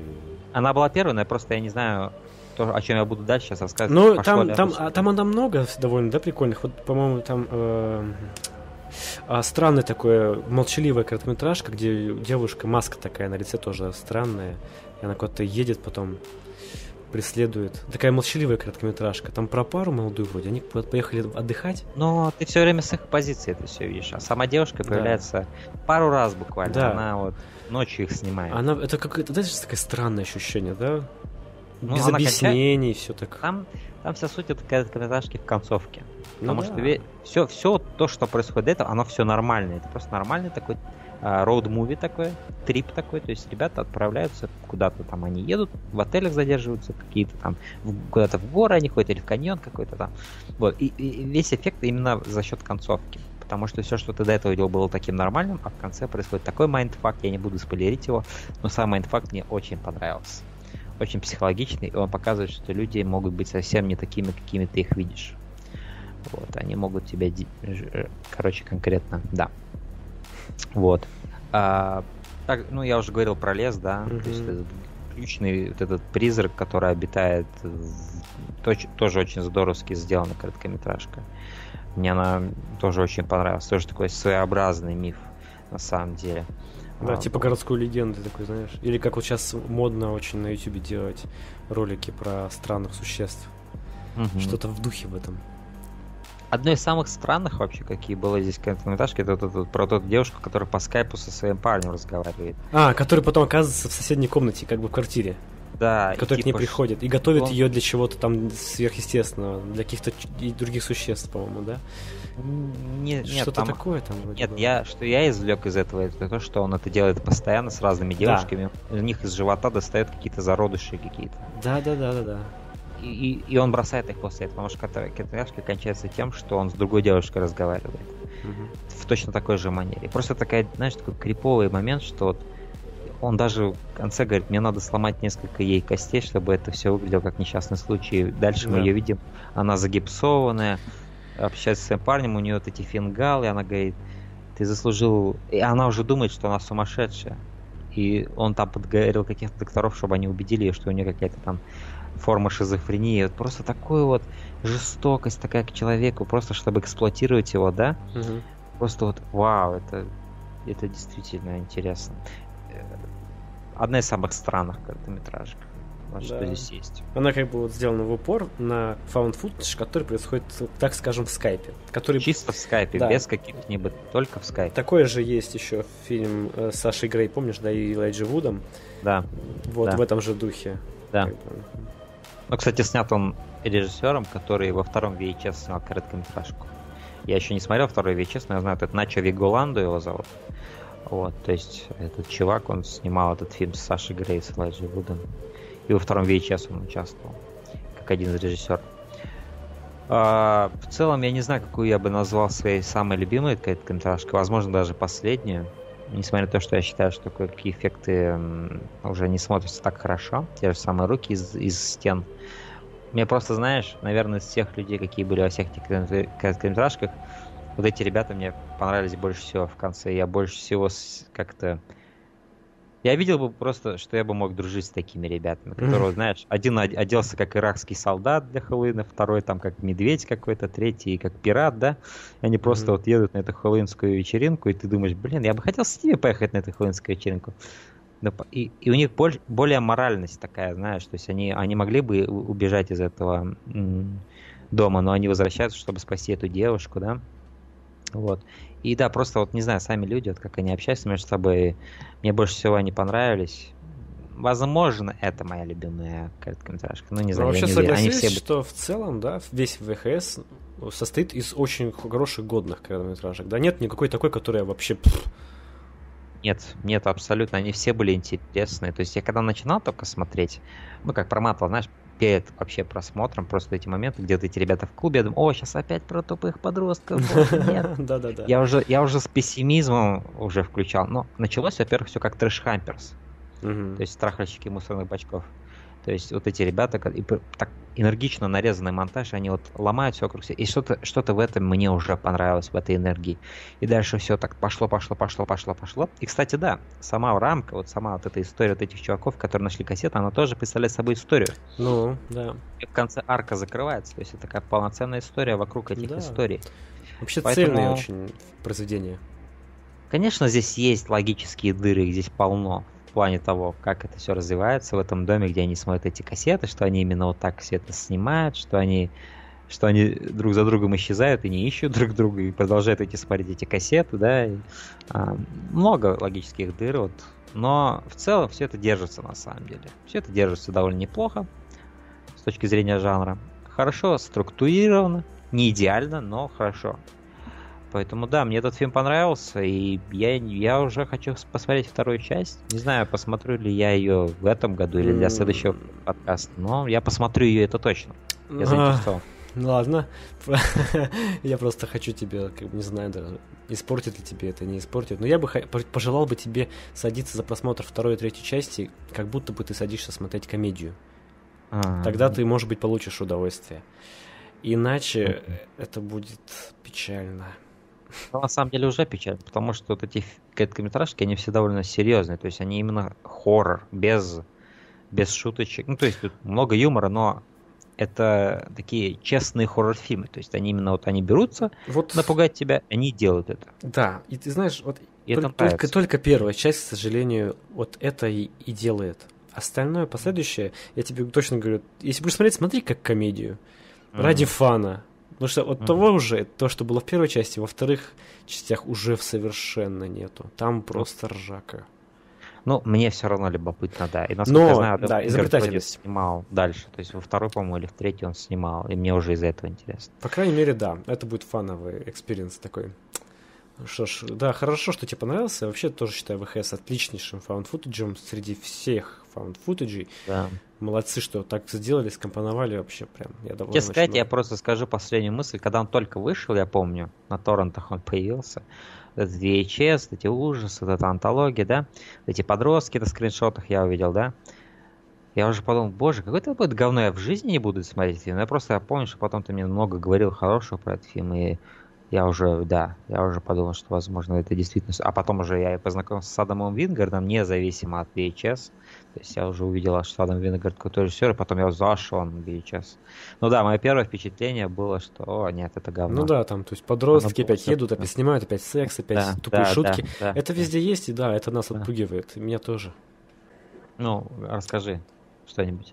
А, только по следующему фильму могу сказать уже. Да. Так, э, ладно, скажу про, пожалуй, «Заклятие 2». Короче, это, конечно, не хоррор, да, не такой уж он и хэллоуинский, я бы сказал, не mm-hmm. совсем держится в духе. Но я решил все-таки посмотреть, приурочить к ужасному да, experience mm-hmm. такому. Mm-hmm. Это фильм Джеймса Вона, известного нам режиссера вот этих вот э, ужастиков в стиле Астрала. Ну, Астрал это живой фильм. Вот. Проклятие э, Заклятие 2 это продолжение уже первой части с теми же самыми актерами. Тут играет Патрик Уилсон и Вера Фармига, очаровашка. Которая, помнишь, в этом в исходном коде играла девушку? А, играла, да, и в исходном коде, в отступниках, я ее много где видел. Да. У Милфа на все года просто. Короче, я. Это, знаешь, это фильм категории. Я называю это категория таких э, чистых триллеров. Mm-hmm. Чистых в плане того, что он такой аккуратный, чистый, э, все в нем такое Прилизанное? При, ну, при, прилизанное, нет, не прилизанное, я бы сказал, отшлифованное. Потому что прилизанное это ну, чрезмерно так ты себе показываешь. Здесь это такой семерочный, я называю. То есть на чистую семерку, на твердую такую семерку триллер. У меня таких очень много, я таких видел. Вот здесь качественная операторская работа, правильные режиссерские моменты. Операторская, кстати, здесь хорошая. Очень хорошо Джеймс Вон здесь поступает. Он действительно классные кадры делает хорошие, интересные углы. Вот. Актеры, вся одежда, декорации, эффекты, они все такие профессиональные, вот так скажем. Угу. Может быть, и не изобретательные, да, не новаторские, но профессионализм здесь чувствуется. Вот. И хорошо, что эта история рассказывается на базе реальной, не в стиле, знаешь, да, эта история основана на реальных событиях, бойтесь, нахер. А реально там была история про английскую семью, которую, в, которую терроризировал полтергейст. И я потом после этого фильма стал даже потом листать литературу, всякую видео смотреть. Это реальная история, очень странная. В девушку там, через девушку говорил старик, который жил в этой, в этой, в этой квартире. И девушка там реально говорила с жутким голосом, есть даже видео на YouTube, где она отвечает. Хотя это могут сказать, что чревовещание, но это, в общем, отдельная история. Ага. Самое главное, что этот фильм снят по реальным событиям и делает все это довольно так интересно. Хотя и привносит свое. Немножко мистики, чтобы, так скажем, побольше напугать зрителя. Вот, с этой задачей он справляется. То есть все, что он поставил, он здесь реализовал. На что-то больше он не претендует. То есть здесь два, э, так скажем, молодая, не молодая пара, а уже пара женатая, которые, в общем-то, ездят по разным местам и справляются с призраками там, да, то есть uh-huh. либо опровергают какие-то вещи, которые происходят, либо доказывают. Она медиум, а он священник, который там изгнание дьяволов, Патрик Уилсон играет. Вот. Да. Хорошая пара, интересно смотреть, подходит друг другу, казалось бы. Вот, и они помогают этой семье, с которой там происходит этот полтергейст. В целом интересный оказался фильм, хотя я смотрел его вот в ощущении, что ну, такой отрезанности от происходящего. Все-таки как бы не слишком верится. Mm-hmm. Но сама история, она интересна. То есть фильм интересный. Я, Джеймс Ван, это один из моих самых наименее любимых режиссеров популярных в Голливуде сейчас. А, то есть мне не нравятся его фильмы вообще, ни один. А, и вот, да, ты говоришь, что он все, декорации, все. И я бы назвал прилизанными его фильм, потому что все эти декорации, все такое правильно, даже вот эта кукла Аннабель, да? Вот есть да, этот миф вот этой куклы Аннабель. Да. Есть этот миф вот этой Аннабели, которая была такая кукла. Она, ну, она, она была злая, она была типа зло нагоняла на ее владельца и так далее. Вот. А реальная кукла выглядит как обычная кукла, тряпичная, просто вот обычная. И за счет этого тебе страшно, потому что ты видишь, какая она обычная, да? И просто обычная кукла. Ну, ты знаешь всю историю с ней связанную, и тебе от этого жутко становится, что вот в этой обычности кроется такое зло. У Джеймса Вана, у него, видишь, он, он не особо умный режиссер. Он не про хорошее кино, он про показушное кино. Поэтому его Аннабель, она изначально выглядит как из Чади Ада. У нее такая криповая рожа. Там большие а, глаза, помните, у нее тоже. Вот Такие. это, знаешь, гримаса вот эта, которая ни один в здравом уме человек не будет своим детям покупать такую куклу никогда. Ага. И ты все, это уже все рушит. Вот эта показушность хоррора, она настолько на поверхности, что они даже дизайн Аннабель не могли удержаться, не сделать его криповым. То есть, типа, у нас же злая кукла, давайте сделаем ее злой. Это же логично, ребята. Но в этом нет ни хрена никакой художественной ценности. И даже нету просто уважения к истории. Они могли бы даже ту же самую куклу, реплику сделать, или даже ту же самую куклу использовать, насколько она до сих пор есть. Эта кукла, по-моему, ее до сих пор не сожгли. А, да, и вот просто вот в таких деталях ты уже видишь, что Джеймс Ван, он о показушности, он о, об, о, от и поэтому в его фильмах все вот эти декорации, одежды, операторская работа, все такое стерильное. И для меня его фильмы, они не обладают душой. Они все вот на поверхности, ты все видишь, и у них нет вот этой своей чувств, эм, своей вот этой вот честной атмосферы, я ее так назову атмосферы честности того, что происходит внутри мира. Ты видишь, что все это сконструировано, чтобы тебя напугать, чтобы навести на тебя жуть, но все это как раз-таки из-за этого и фейли, потому что это все настолько очевидно сконструировано вплоть до просто даже всего, что вообще есть в этом мире. Одежда, декорации, операторская работа, музыка, звуковые эффекты, все это такое в твое лицо. Прям, о, у нас тут хоррор, мы тебя сейчас будем пугать, у нас тут проклятие, понимаешь? Меня никогда это не, не наводило эффект. Ни в, ни в этом, как у него другой фильм есть, с Патриком Уилсоном, два фильма вот эти, Insidious, как они на русском? Астрал? Астрал, да. Вот в Астралах то же самое. Для меня вот Астрал и Заклятие из одного колодца вообще. И да, я первый смотрел Заклятие, не знаю зачем, а, было ужасно скучно и не, не вовлекало меня. Стерильно, лабор... в лаборатории выращенный хоррор-фильм, я вот называю его так. Второй фильм я, естественно, не смотрел. Поэтому ну, то, что ты мне описал, это абсолютно вот Астрал. Ой, то есть Заклятие 2, да, действительно сиквел, потому что все, что ты описал, было в первом фильме. Да, ну нет, я я не любитель всех этих фильмов Джеймса Вана. Ну да. Что, мой фильм, о котором я хочу поговорить, это «Кровавая ярость». Это я сейчас сам перевел, потому что этот фильм я даже не знаю, есть ли у него русский title. То есть он называется Blood Rage. Узнал я о нем из Red Letter Media, на которых я подписан, ребята, которые говорят о кино. И один из ведущих Red Letter Media в своем твиттере очень рекомендовал этот фильм. Один из тех фильмов малобюджетных хорроров, который он любит смотреть, и вот он очень дико посоветовал этот фильм. Это действительно очень хороший фильм. Здесь не так много, практически нет бюджета, здесь нет актеров, которые ты бы знал. Здесь в основном даже многие, наверное, из этих людей не являются актерами. А, этот фильм из 80-х годов, середины, по-моему, а, 87-го года. Это фильм про двух близнецов. Фильм начинается с того, что один из близнецов убивает человека во время того, как тот сношается с красивой девушкой. Он просто подходит к нему и топором рубит его лицо. в самый, в самый такой приятный для него момент. Просто этот мальчик десятилетний приходит и начинает рубить его лицо, понимаешь? Кровь брызжет во все стороны, а рядом с ним стоит его брат-близнец и смотрит на все это. И травмируется этим, понимаешь? Он видит, что происходит и не может поверить. Этот брат, который с этим молотком, э, там такой молот, с одной стороны молот, с другой стороны топор такой, знаешь. Он дает ему в руки своему брату, который ничего не делал, измазывает его лицо кровью, которая на нем, и говорит, это он сделал. И в психушку отправляют этого брата-близнеца, идентичного. Подстава. Абсолютно. Да, подстава.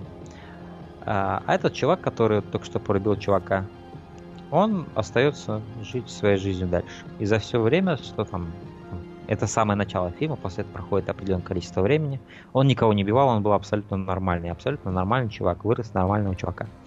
Кстати, в тот же самый возраст он вырос, вырос возраст, в каком возрасте был этот чувак, которого он убил, что даже иронично.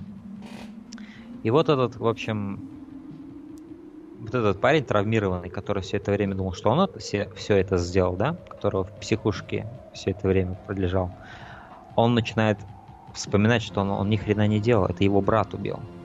И он понимает, что его зря здесь держит, и он сбегает из психушки. И с этого начинается сюжет.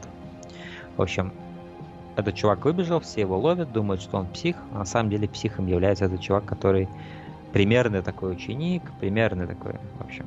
Ну, хотя он не особо пример, но он, в общем, такой нормальный парень. Все, все думают, он такой душа компании, у него есть девушка, у него даже на стороне есть девушка, он весь такой популярный, вот. Все думают, что он просто офигенный чувак. На самом деле он гребаный маньяк. А, и вот насчет, здесь развивается сюжет. А, да, он, он не особо показывает, что он какой-то малобюджетный, то есть, но он просто хорошо снят с тем, что у, у, у ребят было. То есть, достойной камерой все снято, то есть широкоформатный фильм. Это не это. 16 на... Как этот формат называется? SD вот этот вот. SD, который квадратный? Да. 4 к 3? Не, он, в общем, не этот формат. Такой широкоформатный, хорошо снятый фильм. Да, кое-где видно, что не хватает опыта, да, а, режиссеру, чтобы снять как-то поинтереснее, какие-то моменты снять лучше, где актер какой-то перформанс выдает. Но в целом хорошо, смотрибельный, приятный фильм с хорошим, кстати, саундтреком электронным. Чисто электронный 80-х саундтрек такой. Вот. И здесь, да, то есть просто вот много убийств, много крови, много секса, так скажем. Всего этого, всех этих атрибутов. Главными действующими лицами являются вот эти старшеклассники, а, вот, а, потому что вот эти два брата, они выросли до возраста старшеклассников, когда один из братьев а, сбегает с лечебницы. И да, то есть вот фильм здесь развивается, то есть и много-много крови, много убийств, много даже такого, знаешь, мрачного юмора какого-то. Ну, то есть это как бы фильм стиле... из, из разряда маниакальности, да, там про маньяков. Да, про да, абсолютно, абсолютно, абсолютно. Mm. Эталонный даже представитель, я бы сказал. А, вот. И да, я очень здорово провел, провел за ним время, было очень фаново. Фильм без каких-либо супер претензий, просто это хороший представитель своего жанра, своего времени, который очень здорово смотреть на расслабоне, просто насла... здесь есть даже кое-какие неплохие находки в плане вот, музыки, в плане постановки сцены, в плане возвращения к каким-то сценам тоже есть это ощущение понимания пространства, кое-какие дома возвращают. То есть здесь такое хэллоуиновское, это тоже соседство такое в какой-то степени. То есть ты возвращаешься в какие-то места и уже знаешь географию а, происходящего, что помогает более быть вовлеченным. И здесь приятные просто люди подобраны, приятные вот эти старшеклассники, красивые девушки. А, приятно за всем этим наблюдать много таких просто диалогов на стороне, которые немного, так знаешь, воплощают этот мир более, чем просто быть основой для хоррор-фильма, да? То есть ты веришь, что это люди, и это, это как бы плюс. Всегда хочется, чтобы люди были как люди, действительно, а не как какие-то, знаешь, манекены, которых всех будут рубить. Есть, есть здесь кое-какие перебо есть моменты, где немного переборщили с насилием, например, там есть одну женщину ножом или чем-то там просто распилили напополам, она лежит в лесу и продолжает дергаться и кричать после того, как ее ноги уже отделены от нее. Это немножко странно выглядит. То есть, знаешь, такой момент, когда они смогли какой-то практический эффект сделать, да? Он был настолько хорош, что они его даже добавили, несмотря на, на то, что он не имеет никакого смысла. Ага. Он просто был сам по себе настолько хорош, что они решили добавить его в фильм. Хотя, чтобы фильм был лучше, наверное, стоило отказаться от него. Наверное, у них была вот эта идея, когда они ее сделали, она хорошо выглядела, но в то же время она выглядела абсолютно бессмысленно. Но они все равно оставили ее в фильме. Ну, я не, не буду судить их за это, да. В целом, в остальном, я бы сказал, что насилие здесь хорошо сделано, правдоподобно весьма. Ну, правдоподобно вот в этой слэшерской мифологии, которая и была запущена э, Хэллоуином, о котором мы с тобой уже поговорили. Поэтому, да, хороший фильм.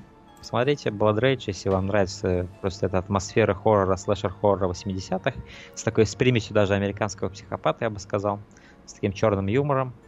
Э, очень советую. Ага. А, Я посмотрел фильм... Блин, как это? Possession of Майкл Кинг. Как А, э, «Одержимость», Одержимость типа. Майкла Кинга, да, 2014 года. Один из таких новеньких ужастиков Мгм. Дэвида Юнга.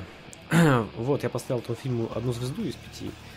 То есть это Мгм. два из десяти. Короче, фильм про одержимость, про чувака, который потерял жену, и он был атеистом, не верил ни во что, и обиженный на, то, на рок судьбы, обиженный на Бога, типа, что, да, там, дела. Он Да. стал таким детективом своеобразным при живой дочке маленькой и, и- и кинул себя на разборки, на детективную такую историю расследования вообще всех этих оккульти- оккультных штук. Он пытается на камеру снимать а, все свои расследования. То есть пытается докопаться вообще, есть ли что-то, есть ли какая-то загробная жизнь, демоны, ангелы. В общем, пытается какие-то доказательства собрать. Мгм. Вот, он ходит по всяким а, чувакам, типа сатанистам, которые проводят над ним обряд, м, с куклами Вуду что-то делает, где-то еще по церквям шастает. Короче, где не попадет сует свой нос. И вот те сатанисты, которые с ним ритуал провели, а он, поскольку атеист, он туда смело шагнул, то ритуал оказался настоящим. И он, в него подселяется демонюка, начинает преследовать, он все это снимает на камеру. И это все слишком-слишком показушно выглядит. Чересчур уж слишком. Вот. Мгм. То есть ничего не веришь в это совсем. все наиграно, слишком пре- предсказуемо. Вот. И актер так себе. Так что этим фильмом вы себя не испугаете. М, Не знаю, стоит ли смотреть вообще. Такой, да. Ну, хотя бы 83 минуты идет. Хотя бы недолго. Хотя бы да. Хотя бы недолго. Спасибо и на том, как говорится. Так что не буду долго о нем мусорить. Ну, Мусоль о каком-нибудь следующем фильме, потому что у меня фильмы кончились. У тебя кончились? Ну тогда Да. ты поможешь мне в обсуждении трилогии зловещей мертвечины, А. которую я наконец-то посмотрел.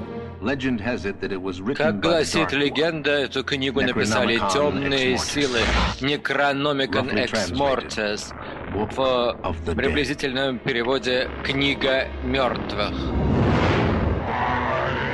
Да. Evil Dead.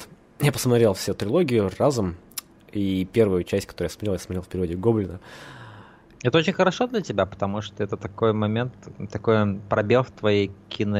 Да. кинолюбительской этой, что его надо было восполнить. Это был пробел, и вот это рано или поздно настало, и очень классно, что настало. Вот. Мгм. В целом я доволен трилогией, и там первая часть, когда шла, там еще несколько аудиодорожек было. И я обнаружил, что вторая аудиодорожка это вообще Гаврилов там озвучивает. Я на, пол, на полфильма переключился ради ностальгических таких ощущений Мгм. гавриловской озвучки. Это было круто. Это Да. окунуло меня в те года. В общем, здоровско, да. А, Первая часть мне понравилась меньше, чем э, вторая, третья, поскольку в первой части, ну, такие просто провальные спецэффекты были. Э, Очень-очень-очень видно, что там это The Grimm совершенно такой... Ну, это да, это почти любительский, да. Да. Да, один из первых фильмов. Вот, и только-только зарождается, так скажем, легенда. В целом он стоит для меня на таком уровне, вот первая часть, на таком уровне воздействия, как Хэллоуин примерно. Вот. э, Ну, чуть-чуть, чуть-чуть там получше Ну, ну, атмосфера. стоит, ска- стоит сказать, что это единственный из трех фильмов, который именно целится на вот этот вот чисто хоррор. Вот именно чисто Ну да. хоррор. Чисто хоррор и происходит, в принципе. Но вторая часть делает это, увеличивает это. Там появляется гораздо круче грим, гораздо круче эффект вот эти, да, там от... Сам фильм пре- преображается не... Он не только хоррор, он такой как фэнтези, какое-то приключение целое, на самом деле. Вот с этими, со всякими... То есть это не просто хоррор, это именно здесь какой-то много комедий на самом деле. Да, комедий много, вещь. реально много. И уржа, уржаться какой, действительно. Он такой да. комедийный и не делает что-то такое серьезное, да, из этого фильма. Да. Все хорошо. Все нормально. Я с тобой не согласен. Мы только что разрезали нашу любимую девушку электропилой. По-твоему, это хорошо и нормально? И хоррор в нем есть, как бы, и такие Много места. изобретательных моментов, где у него там из спины вырастает второй чувак, этот Эш, да, вот эта голова. Да, да. Это просто охренеть. Или где вот этот осел, вот этот, который, не осел, а вот этот олень, да, на стене, который висит, вот этот вот. Он потом чучело. оживает, это вообще круто. Начинает смеяться, вот это, это так Все клево. сумасшествие там показано действительно круто. И сам актер во второй части реально преобразился очень, просто. Очень харизматичный. Вот он был деревянный, да, в первой части, а во второй части вообще... Он был немножко скованный, немножко mm-hmm. неопытный, наверное. Здесь он уже ощутил на самом деле, вот фильм, он ведь в какой-то степени повторяет полностью сюжет первой части. Да, это да. какой-то ремейк своеобразный, это не продолжение. Да, это своеобразный ремейк получается. Там просто вот другие смотрел, персонажи прибавляются. Я смотрел первую часть, потом посмотрел вторую часть, я не понял, как будто повторяется все на самом деле. Как будто заново, с новыми силами, да? Да, да, с новыми силами. Они пересказывают было. сначала ту же историю, только отрезают друзей, как будто они вдвоем приехали с его девушкой. По, по новой то же самое пересказывают, просто ну, с новыми силами, с новыми техническими возможностями, так скажем. Вот, так что «Зловещие мертвецы 2» И это вообще... намерениями. Да, намерениями. Эй,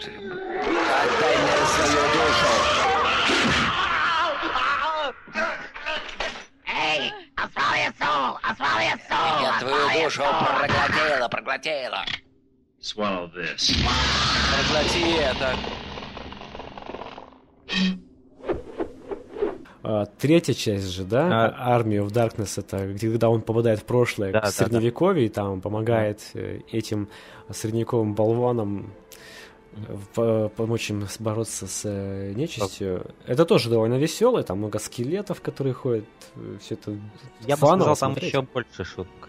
Я бы сказал, что да. там еще больше шуток. Там больше вот этого, вот, знаешь, а, китча какого-то, какого-то даже не сколько, не столько даже китча, сколько вот именно пробивание четвертой стены, вот это, что у нас тут именно вот такой хоррор-фэнтези фильм, и мы будем шутить, и мы будем как бы даже не будем себя сильно ограничивать временным периодом, будем какие-то... Ну, в общем, да, такой он более безумный этот даже чем второй, я бы сказал. Он там совсем в юмор входит. Прям. Да, да, да. It's my boomstick! Короче, классно очень. Здесь вообще герой трансформируется еще сильнее. Видно, как он уже храбрый, крутой. Он, он реально превращается в героя. В героя, да. Он, он именно в героя превращается. Вот. И да. Но хоррор, он остается на протяжении всех трех частей. И в третьей части, несмотря на фэнтези, все еще присутствует этот вот ну, я так понимаю, вторая, вторая часть у тебя любимая, да? Ну, из трилогии я бы выделил вторую, потому что там есть вот этот вот мистери шаг такой, да, вот эта uh-huh. таинственная лачуга, которая, кстати говоря, я, знаешь, я уверен, что именно с нее разработчики, разработчики Мувиса взяли эту декорацию. Помнишь?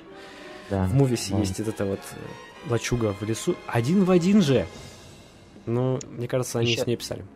Еще стоит выделить в этих фильмах именно энергичную режиссуру самого Сэма Рэйми. Даже не все эти практические эффекты и юмор и самого героя, а именно то, как он просто эти безумные наезды камер вот эти под разными углами, настолько энергия прибавляется тому, как помнишь, как в лесу его неведомая хрень какая-то тащит, и вот просто а, он летит через лес, эти ветки, вот это, да, знаю, да.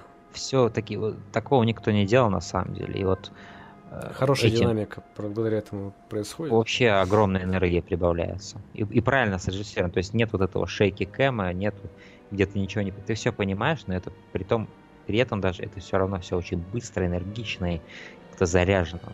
Да. И когда ты конечный, когда он там бензопилу себе вместо руки ставит, ты просто вау. Просто такая интересная находка да, готов, типа, вооружился, такой как Рэмбо. Да, да, да. Это круто, круто. Очень классное занятие на Хэллоуин, это посмотреть «Зловещих мертвецов». Вторую mm-hmm. часть особенно. Да. Поэтому я остался доволен. Mm, я этой очень классикой. Рад. Я рад очень. Клево. У тебя что-то еще есть? Все, это все мои фильмы, которые я посмотрел к Хэллоуину, и теперь мы можем с тобой уже более подробно остановиться на тех фильмах, которые посоветовали друг другу. Это Крип-шоу и... Э, I walked with да, zombie. я гуляла с зомби. Давай Мгм. начнем, наверное, с более старшего произведения, черно-белого. Я гуляла Да. с зомби. Да, это фильм 50 какого-то... А, 43-го 43-го года. 43-го даже года. А, это фильм... Жак я, Турнер. я не умею вот эти синапсисы делать, но, в общем, девушку нанимают... То есть она где-то в Нью-Йорке живет, я так понимаю, в самом начале фильма показывают. В Канаде. Заснеж- Снег какой-то за Она из Канады. А, ну, с Канады. Короче, ее привозят, ну, она нанимается на работу медсестрой, и ее привозят на остров какой-то. остров, по-моему, да? Ну, короче, какая-то Кариб- провинция, Карибский. где еще рабовладельческий строй, по-моему, еще не иссяк, да? То есть, где все еще негры подчиняются белой расе. Ну, так и есть, по Да, сути, в этом фильме. Типа того. Вот, и там какая-то м, фермер, да, который занимается плантациями, и у, нее, у него больная жена, и она Мгм. к нему едет, чтобы помогать заботиться о его жене. Вот такая Да. вот предыстория. И что дальше происходит Жена, на- уже, да. жена находится в такой кататоническом состоянии, то есть она Да. абсолютно физически здорова, но у нее что-то ментально сломано, и она просто вот Ходит ходит такая, да, как привидение. То есть Да. она не говорит ничего. худющая такая. Да, А, такой очень печальный образ. И вот эта вот медсестра, она начинает медленно влюбляться в этого хозяина этого поместья. У этого хозяина поместья есть брат, и постепенно, вот смотришь фильм, чем дальше ты его смотришь, ты понимаешь, что там какая-то в этой семье история нехорошая была давно, которая привела к тому, в каком состоянии сейчас все находятся. То есть этот главный вот этот вот хозяин поместья, он такой очень пессимистичный, он во всем даже в самом красивом видит самое ужасное, да, и, но все равно вот в этой грусти какой-то этого героя главный герой находит тоже какую-то красоту, и это ее притягивает, она хочет помочь ему, но она настолько его любит, что понимает, что чтобы помочь ему, ей надо, короче, вылечить эту его жену, да, которая Мгм. находится в этом состоянии, непонятно. Она прикладывает все усилия, как-то ищет какие-то пути, как бы вернуть ее к прежней жизни, в общем. Настолько она любит этого героя.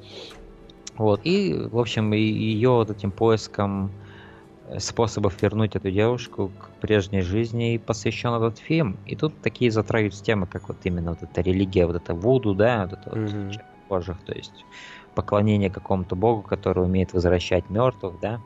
А, Очень много на этом завязано.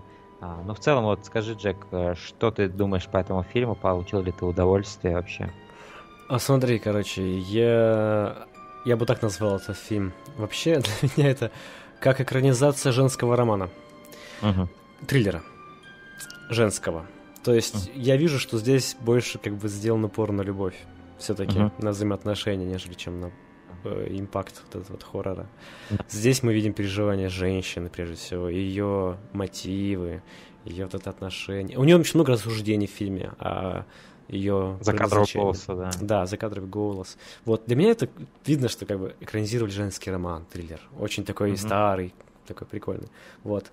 Но в то же время э, какие-то моменты ужаса, которые присутствуют в фильме, они имеют хорошую даже воздействие, интересно. Даже Особенно... как бы не будучи очевидными, да, то есть вот они идут по вот этому, например, эм, полю кукурузы, да, и там стоит этот негр с Вот, я только сейчас и огромными. хотел о нем и сказать. Вот этот образ мне запомнился лучше всего. И он А. действительно страшный. Он худой, стоит, и в нем вот эти глаза. Я даже не понял, они нарисованы на нем, да, на закрытых веках? Нет, они реально... Или они выпуклые. реальные Нет, его? они реально выпуклые у него такие. Ну, очень Чувак, стеклянный. И реально похож на зомби. Ну, он Да. тем и самым зомби как бы является. Да. И вот эта вот оккультность, да, под э, такая теневая сторона вот этой вот всей вот этого острова, она клевая. Остальное довольно скучное в плане как бы фильма, который ты сел Развития. посмотреть.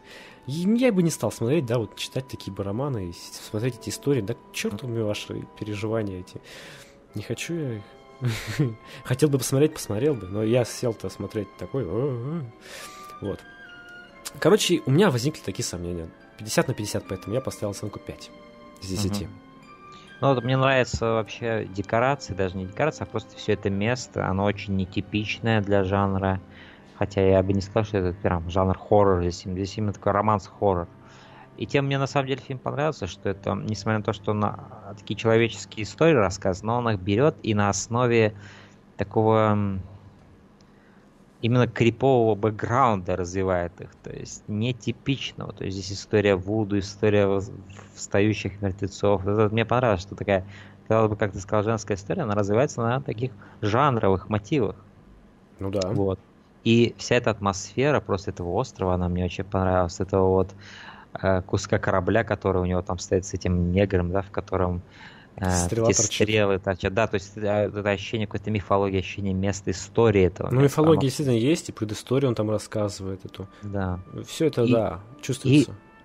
И, и, и вот эта работа, это была пора черно-белого кино, и видна вот эта работа со светом, та изобретательная работа, которая тогда была присуща, mm-hmm. потому что там было черное и белое, и ты должен был оперировать в этом спектре и быть изобретательным в этом спектре.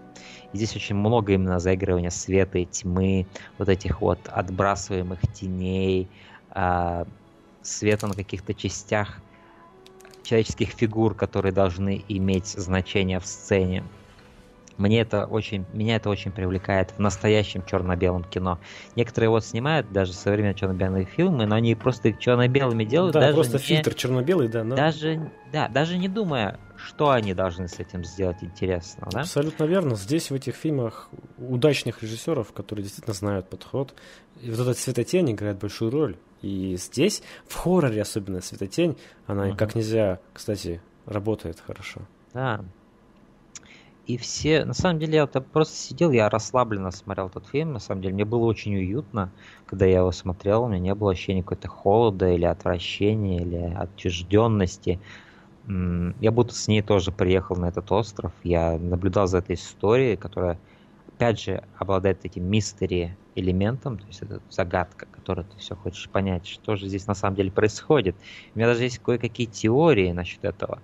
Например, этот негр огромный, он является пустым сосудом, так? То есть он такой же зомби, как и вот эта девушка, вот эта жена. Ну. То есть он такой пустой сосуд, и походу часть души вот этой жены, настоящая вот эта душа ее, она переселяется в этого негра. Потому что он с распростертыми объятиями идет в сторону вот этого мужа, да? Кто-то mm хочет обнять. И даже когда в конце вот этот брат этого чувака топит себя вместе с телом, да, mm а, она идет к, и к нему, потому что она любила и его, она же с ним хотела сбежать с острова. И он идет к, к ним с распростертыми объятиями, но они тонут, и он опускает руки и уходит. У меня вот это вот ощущение, потому что этот чувак с саблей, да, который там вот эти все ритуалы проводил, mm у меня было ощущение, что он переселил каким-то образом душу вот в этот пустой сосуд этого нега. А, и да, то есть здесь есть простор для на самом деле размышления, особенно как это все в конце кон- кончается, и вот этим закрывающей этой фразой, что там пусть, пусть мертвые успокоятся, а живые найдут счастье, типа, и что э, эта причинность того, почему так закончились их жизни, что они пошли по пути греха, и он последовал за ней, и вместе они... Ну, в общем, здесь есть какая-то вот эта подоплека идейная, на самом деле не супер очевидная. Это именно причинности, да, следствия. То есть это именно, не знаю, как причины и следствия, так скажем. Вот. И, ну, в общем, фильм не такой не на поверхности, не абсолютно весь разложенный перед тобой. Здесь есть действительно что-то интересное. Что-то интересное у него происходит.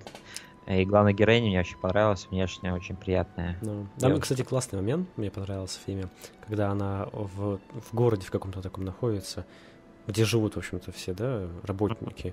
Да. Там есть музыкант, да, на гитаре, кто да, играет. Да. Вот это уже под вечер, он, идя к ней, поет эту песню о прошлом семьи, да, и он mm. так смотрит пристально на нее, как бы, давай понять Ждая. подсказку, как будто. Mm. Это такое интересно, мне понравилось. Да, мне показалось, кстати, это грубо с его стороны, потому что до этого ему сказали да. исчезни и больше этого не делал, а он просто... Но он как бы настоял, как будто бы хочет да. ей реально сказать это вот. Будто хочет даже, может, помочь ей. Mm-hmm. Он видит вот эту абсолютно открытую, светлую девушку, которая, в принципе, согласно своему характеру, почти весь фильм одевает белые одеяния. А, вот. И он видит эту открытость и, наверное, хочет уберечь ее. Мне показался очень трагичным образом мужа, потому что он говорит, он, он, он он заинтересован в ней, но он отталкивает ее от себя и мотивирует это тем, что он говорит, так же, как с моей женой было, говорит, когда-то я любил ее, и Потом ну. мне начало все бесить, все, что она делает. И он говорит, что спасибо вам, что напомнили мне, что между женщиной и мужчиной может быть такое счастье, но больше всего я боюсь еще раз его разрушить. Ну, вот поэтому он на корабле, когда наплывет, он и говорит, что да, эти рыбы вообще в панике, там вот эти летучие рыбы выпрыгивают, чтобы спастись и, и, и вообще, да. Следует зло, да. Он как бы показывает темную сторону, что здесь ничего примечательного фантазировать не надо, все это плохо, и вообще зря ты, короче. Да. Не, не строй мечты, не строй здесь планы. Он, он очень описывает это место так поэтично и в то же время, точнее, очень мрачно и в то же время поэтично в чем-то. Просто он как описывает эти вещи, как его ум умеет обернуть даже самое красивое в самое плохое. Мне это понравилось mm-hmm. просто в его персонаже. Да, интересные персонажи, интересная драма, которая вот именно постепенно развивается, постепенно раскрывает какие-то свои черты.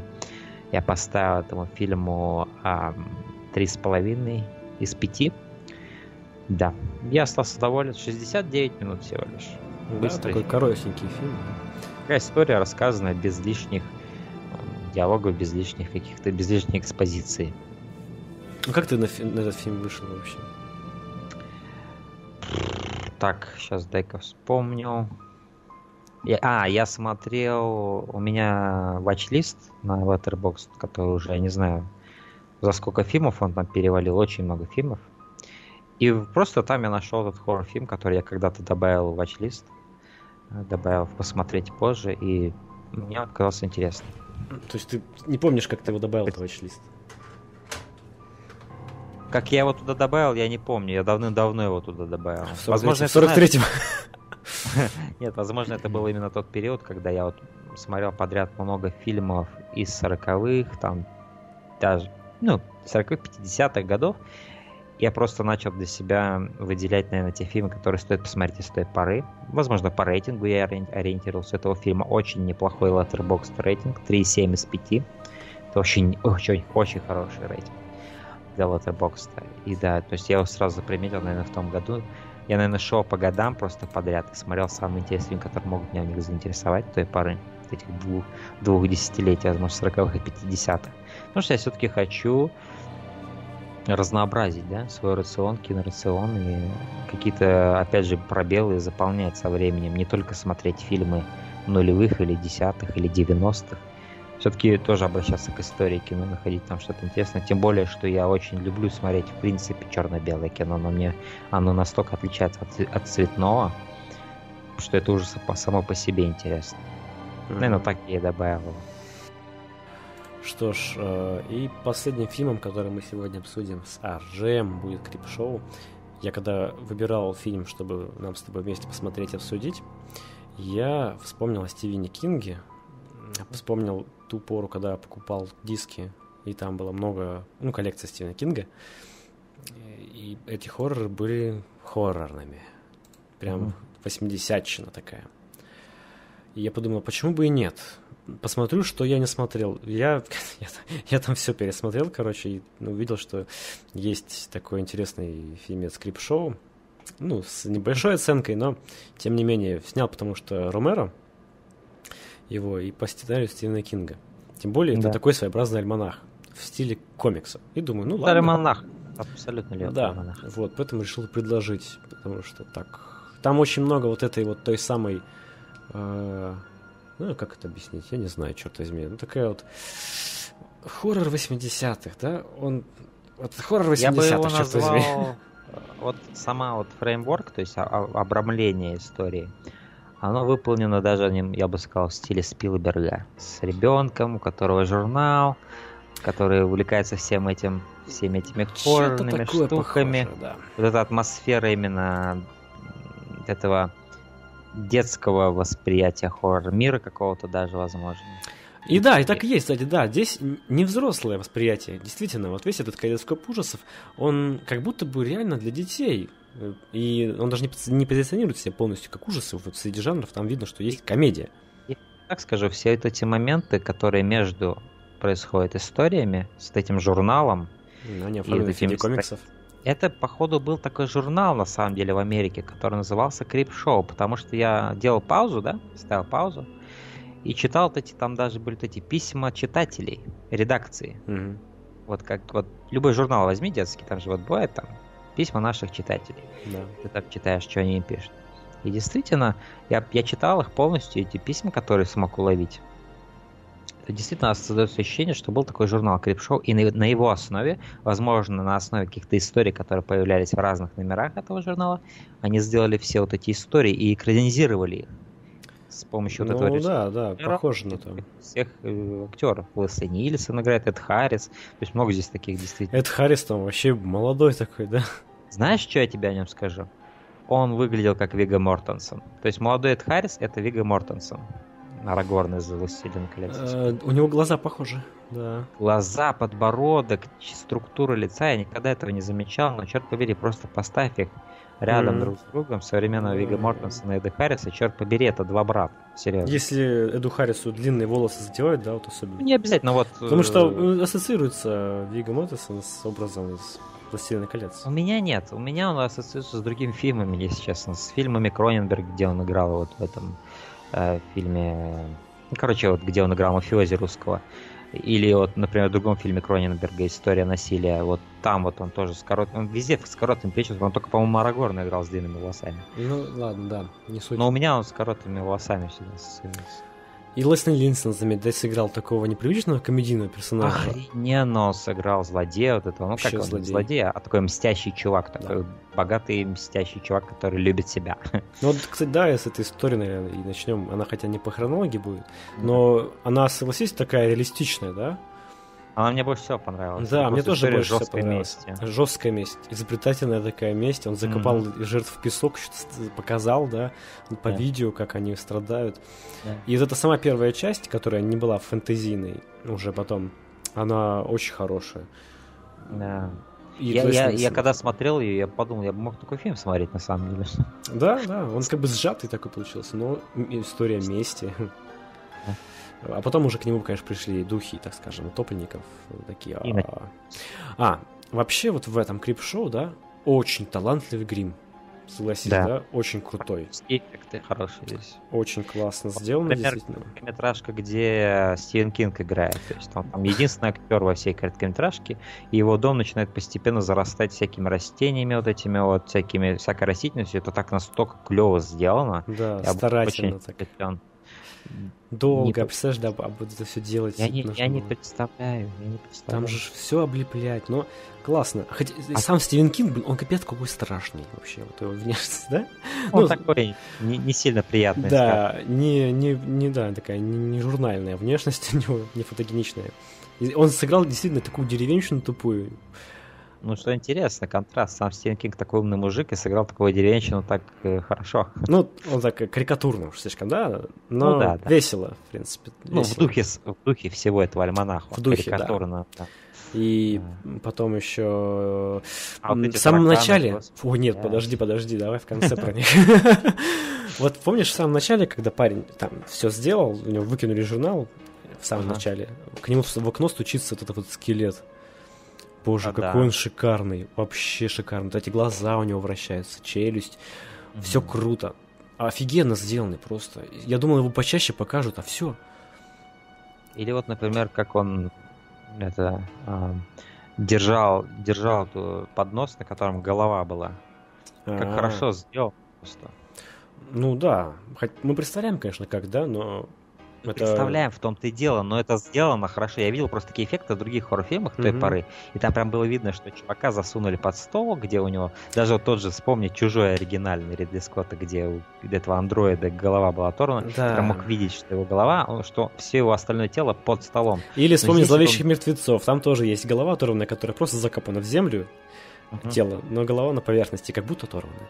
А здесь, да, на Но подносе. вот здесь он держит поднос, и это настолько клево выглядит. Я был поражен. Да, вот заслуживают очень большой похвалы здесь такие э, своеобразные практические спецэффекты и грим. Да. Освещение здесь стоит а, вы- выделить. Много вот именно искусственного Да. освещения в стиле Грефна, вот с этими с красными, Красное, синими. когда... Подожди. Именно как- Вот синяя всегда проявляется в этом фильме, когда идет именно хоррор-часть. То есть вот здесь каждая короткометражка начинается с реализма, с персонажа, mm-hmm. которые свои бытовые какие-то штуки делают, а потом как только появляется хоррор, появляется вся эта комиксность, все да. вот эти цвета красный, синий. Это как оживший комикс, да, действительно. Потому что, чтобы придать краски происходящему, в комиксах в основном накладывается какой-то фильтр. И так же сделано в кино. Потому что да. в реальности не будет нигде, откуда красный да. цвет происходить, хотя мы знаем какие-то работы, где вот этот красный свет, который какой-то, или просто изменение света, оно происходит в сюжете, да, там падает какая-то лампа, меняется освещение, и этим самым обыгрывается напряженность, да. да? Здесь же просто наложен так в красный свет, ни с того ни даже не притворяется фильм, что это реалистично. Конечно. Он просто делает это. Это особенно и было все. хорошо видно с чудовищем в ящике. Там они только открыли ящик, сразу красный свет да. хлынул, хлынул, и прикольно получилось. Ну или когда вот это вот э, из могилы вылазит мертвец, тоже сразу красный, синий с двух сторон. Да, да. И тут даже есть вот эти моменты, вот эти, где вот такие как комиксные панели, да, вот эти кадры меняются. То есть эти вот между да. сплитскрин есть, присутствует в этом. Угу. То есть такой как Тут ты на, на два окошечка в комиксе смотришь одновременно. Да. И самое, которое произвело у меня эффект, это вот короткометражка с тараканами блин, это... Сколько тараканов ты видел? Я видел Нет. сколько. Я как не знаю, этом, как они туда засунули. Ты это видел? Ты это видел? Да-да-да. Блин, это вот, вот это самая противная, мерзкая ва, короткометражка, где вот это все заполняет тараканами. Все это... Они такие жирные, здоровые, разные, рыжие. Боже мой, меня просто поразило, меня поразило количество тараканов, которые они смогли достать. И что они все реально живые, и что они реально вылазили из вот этого вот трупа. Да. Это было mm, когда, когда вылазили из трупа, это, конечно, бру. Ну, труп видно, что, да, кукла уже, но и... все равно сделано круто же. Да. прорывают кожу, везде ползают в этом стерильном помещении. Это очень мерзкая короткометражка. Она в конце поставленная, она действительно бьет по нервам, потому что тараканы реально на нас производят впечатление плохое. Мы хотим их всех убить, и они вот это мерзко. Моя любимая сцена какая во всем фильме где этот чувак убивает свою жену прямо из какого-то 45-го калибра в лоб. Да. И все ему Это просто ржака настоящая. Типа, наконец-то ты ее убил, эту тараторку долбаную. Я так был просто... Я так был насла... такое наслаждение получил от этой сцены. Да, да, да. Наверное, слишком много я получил. Оно просто, оно да, да. Это было, знаешь, такой именно момент циничного юмора, абсолютно циничного где просто чувак, который стал своей жены, просто хедшот проставляет, и все ему аплодируют. Угу. И ты тоже аплодируешь, сидишь да, аплодируешь. мерзкая баба. Причем, почему мне нравится эта сцена? Потому что она из ниоткуда. Он просто достает пистолет из этого. Угу. Бам! Это очень классно, очень. Да. Несмотря на то, что там их мало, таких короткометражек, они довольно большие, так неспешно идут, да? Четыре или пять штук, нормально, я думаю, в принципе. Да, вот. Они очень как, как детский. Э, помнишь, мурашки такое шоу было? Вот, да, Кузбамс, или, например, да. э, э, байки с склепа. Да, да. Вот в этом духе такого подросткового крипи-шоу. Ну, с исключением, я бы сказал, вот этой истории, где Лесли Нильсон мстит, там да. реально как-то слишком взросло все это было. Там взросло, да. Где он закапывает их, и океан медленно их поглощает просто. Угу. Это было жестко. Да. Но вот я бы сказал, более детские такие. Это вот именно вот это чудовище в сундуке, наверное. Угу. Или, например, тоже со Стеном Кингом, где он медленно порастает травой угу. и еще залазит в ванну, дебил, где вода. Я как в конце он из ружья себе. ему даже дух его отца э, приходит и говорит, ты что, собрался в воду лезть, дебил? А, It's matter. Кстати, в конце, да, такой жесткий момент, где он просто кончает жизнь самоубийством. Он мне даже напомнил финал Мухи, честно говоря, где mm-hmm. Муха в конце представляет голову к своему и говорит, пожалуйста, убей меня. Да, а, да, есть. То есть я бы сказал, что да, здесь есть это ощущение детскости, но в то же время здесь такие сцены порой происходят, такой то есть это даже вот эта голова на подносе, да, то есть такие сцены жутко, жут, жуткого это... для, для ребенка насилия. Как бы не, не Peggy A13, да, вот этот вот рейтинг Это вот, знаешь, типичный. Именно, именно вот это такой ужас, который граничит на том, что не дозволено показать ребенку. Mm-hmm. То есть он именно толкает вот эти грани, толкает рамки. Я думаю, именно такой атмосферой обладал сам журнал. И вот то, как отец относится к этому журналу, он выкидывает его в мусорку, это вот именно да. показывает, что, возможно, родители так и поступали Да, да, да, да, с настоящим журналом, что была вот это, знаешь, это запретный плод это был какой-то, и дети, возможно, так хотели его получить, этот журнал. Да, потому что он именно открывает вот эту всю... Он открывает эту часть людей, которые недозволено детям, то есть видеть. И здесь могут даже таких сцен реально сексуального характера, каких-то ругательств эм, такого взрослого характера именно. Вот здесь они присутствуют. То есть такой, я думаю, фильм хорошо, наверное, я сам этот журнал не читал, но я представляю себе, что фильм, наверное, хорошо запечатлел вот это, наверное, вот эту мифологию, ощущения самого журнала. И чем он являлся. Возможно, да, в, в американской культуре. Да.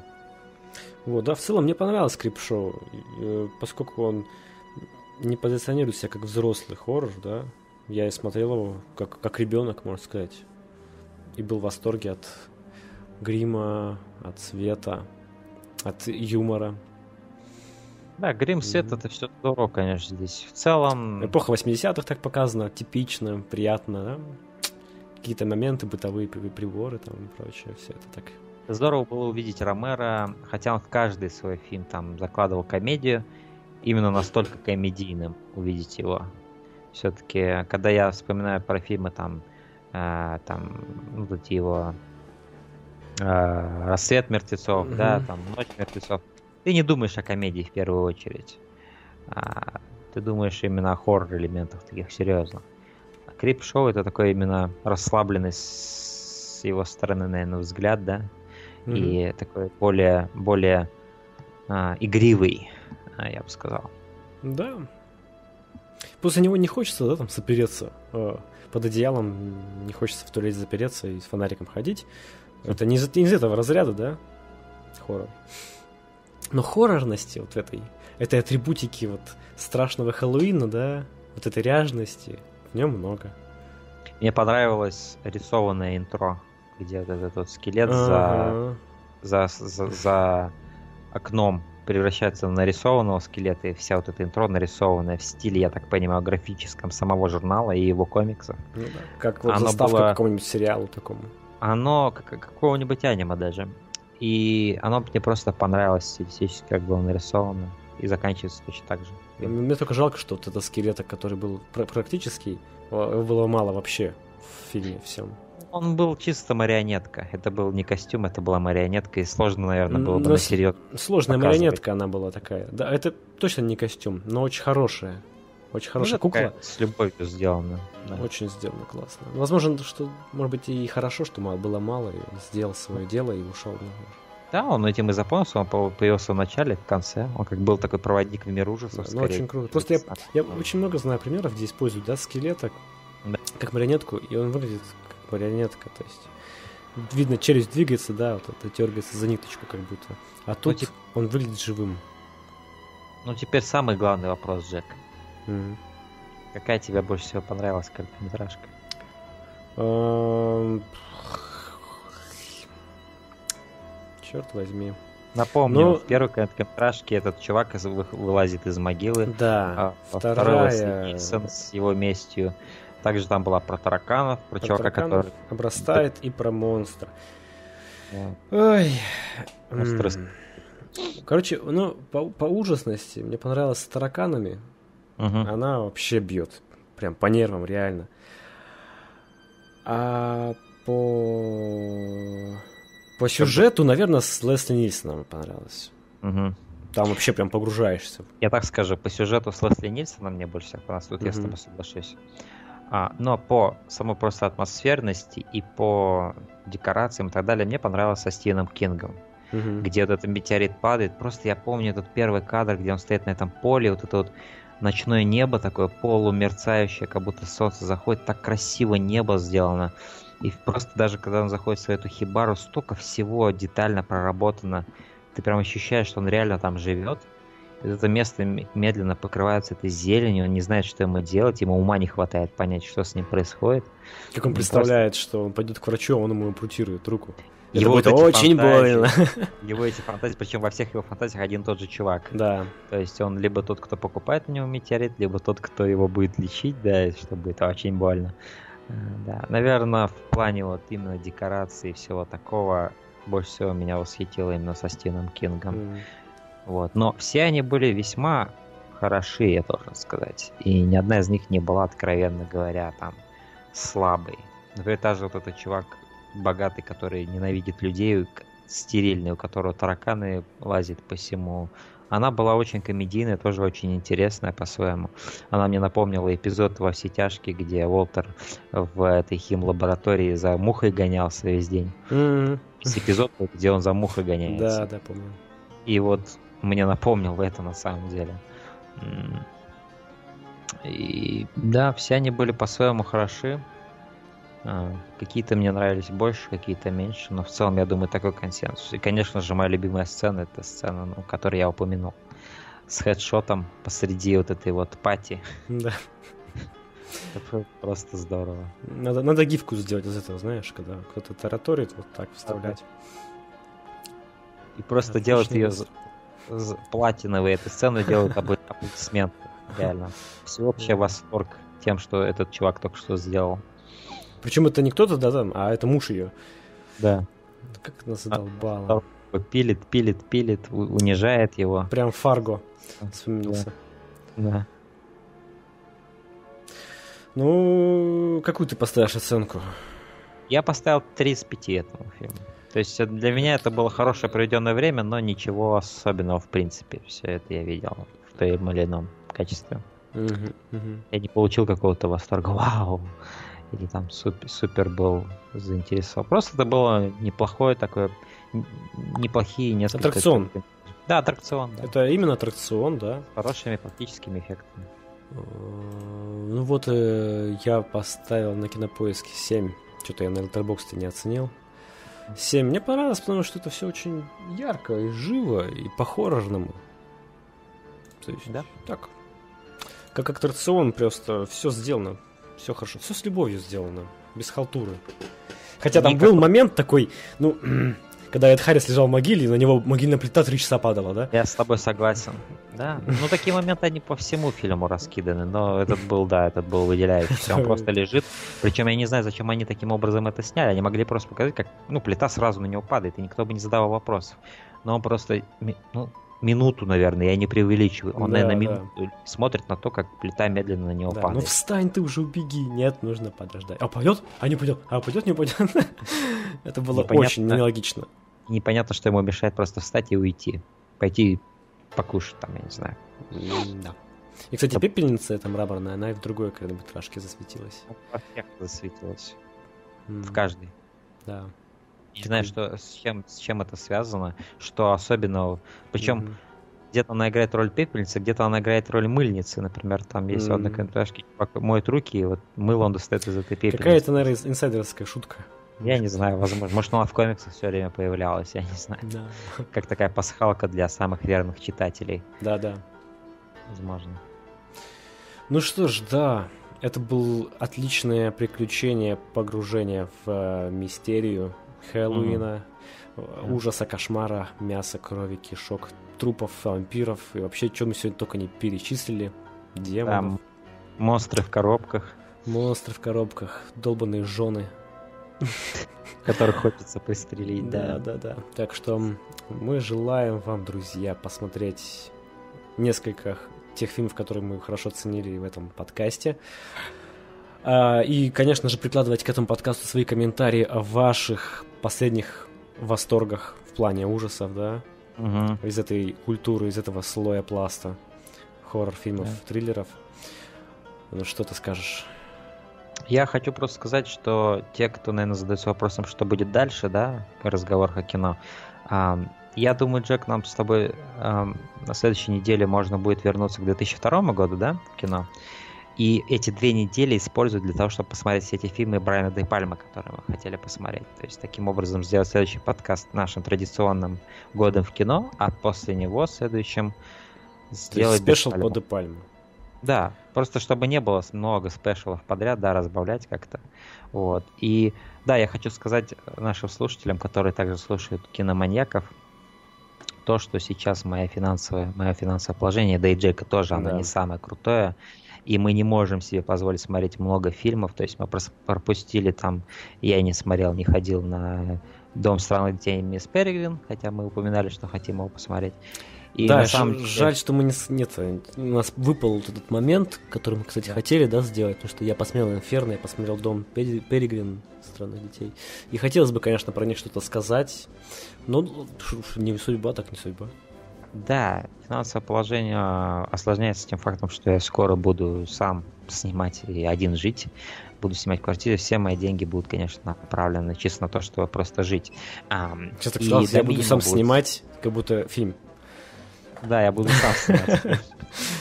Ну да, и я не смогу ходить так часто в кино, как раньше. Поэтому, дорогие друзья, Donation никто не отменял. Нет, это шутка. Э, ну, кстати, да, никто вам не мешает, в принципе. А, мы, я думаю, будет... В общем, что я хочу сказать. Что я хочу, что я под этим имею в виду, Джек. Я имею в виду, что киноманьяки будут выходить, но будут они выходить реже. Ну, То есть да. мы, мы будем смотреть самые основные, самые интересные, интересующие нас фильмы. Э, по-любому будут киноманьяки о прибытии Дэни Вильнева. Да? Про Звездные войны мы сделаем. Про Звездные войны. Дэни Вильнева сделаем. И, возможно, если ты пойдешь, если ты все-таки не врал все это время, что любишь Гарри Поттера, и пойдешь на... На магических а, тварей магических. Да. Да. Потому что я на них точно... Что это значит, я врал про Гарри Поттера? Я сейчас ну, выну свой револьвер-то. Нет, ну, если ты пойдешь, я люблю Гарри Поттера. И мы сделаем по нему, потому что я точно это. Вот. Да. В этом году, я думаю, у нас еще три выпуска выйдет киноманьяков. Ну, в общем, да, мы будем реже делать киноманьяков, будем чаще делать разговоры о кино, потому что нам не нужно ходить в кино, чтобы делать разговоры о кино. Да-да-да, еще впереди очень много годов, про которые можно говорить, много спешалов, которые мы собираемся вам предложить. Это будет здорово, это будет весело, и да. Ну, а завтра я пойду на Доктора Стрэнджа, наверное. А, вот ну, я... потому что у меня сестра, ну, у меня она гик, и я не могу просто не, не позволить ей сходить со мной в кино.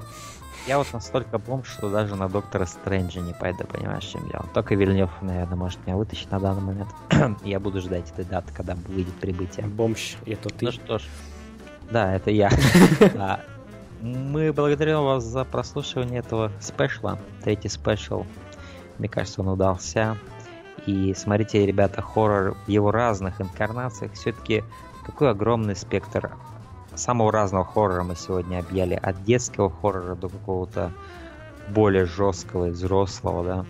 То есть хоррор, он разнообразен. Это один из самых интересных жанров, что есть в кино. Я в это свято верю. И мне сегодня было просто приятно с тобой, Джек, сегодня обсуждать эти фильмы. Да, взаимно. Просто в эту атмосферу и да. Это было здорово. Это было здорово. Ну, и вам, друзья, удачи. И если вы темнокожий парень, не соглашайтесь идти первым в темноту. Все. Так, окей. Ну, и не разделяйтесь со своими друзьями. Да, да. Все. Пока. Пока.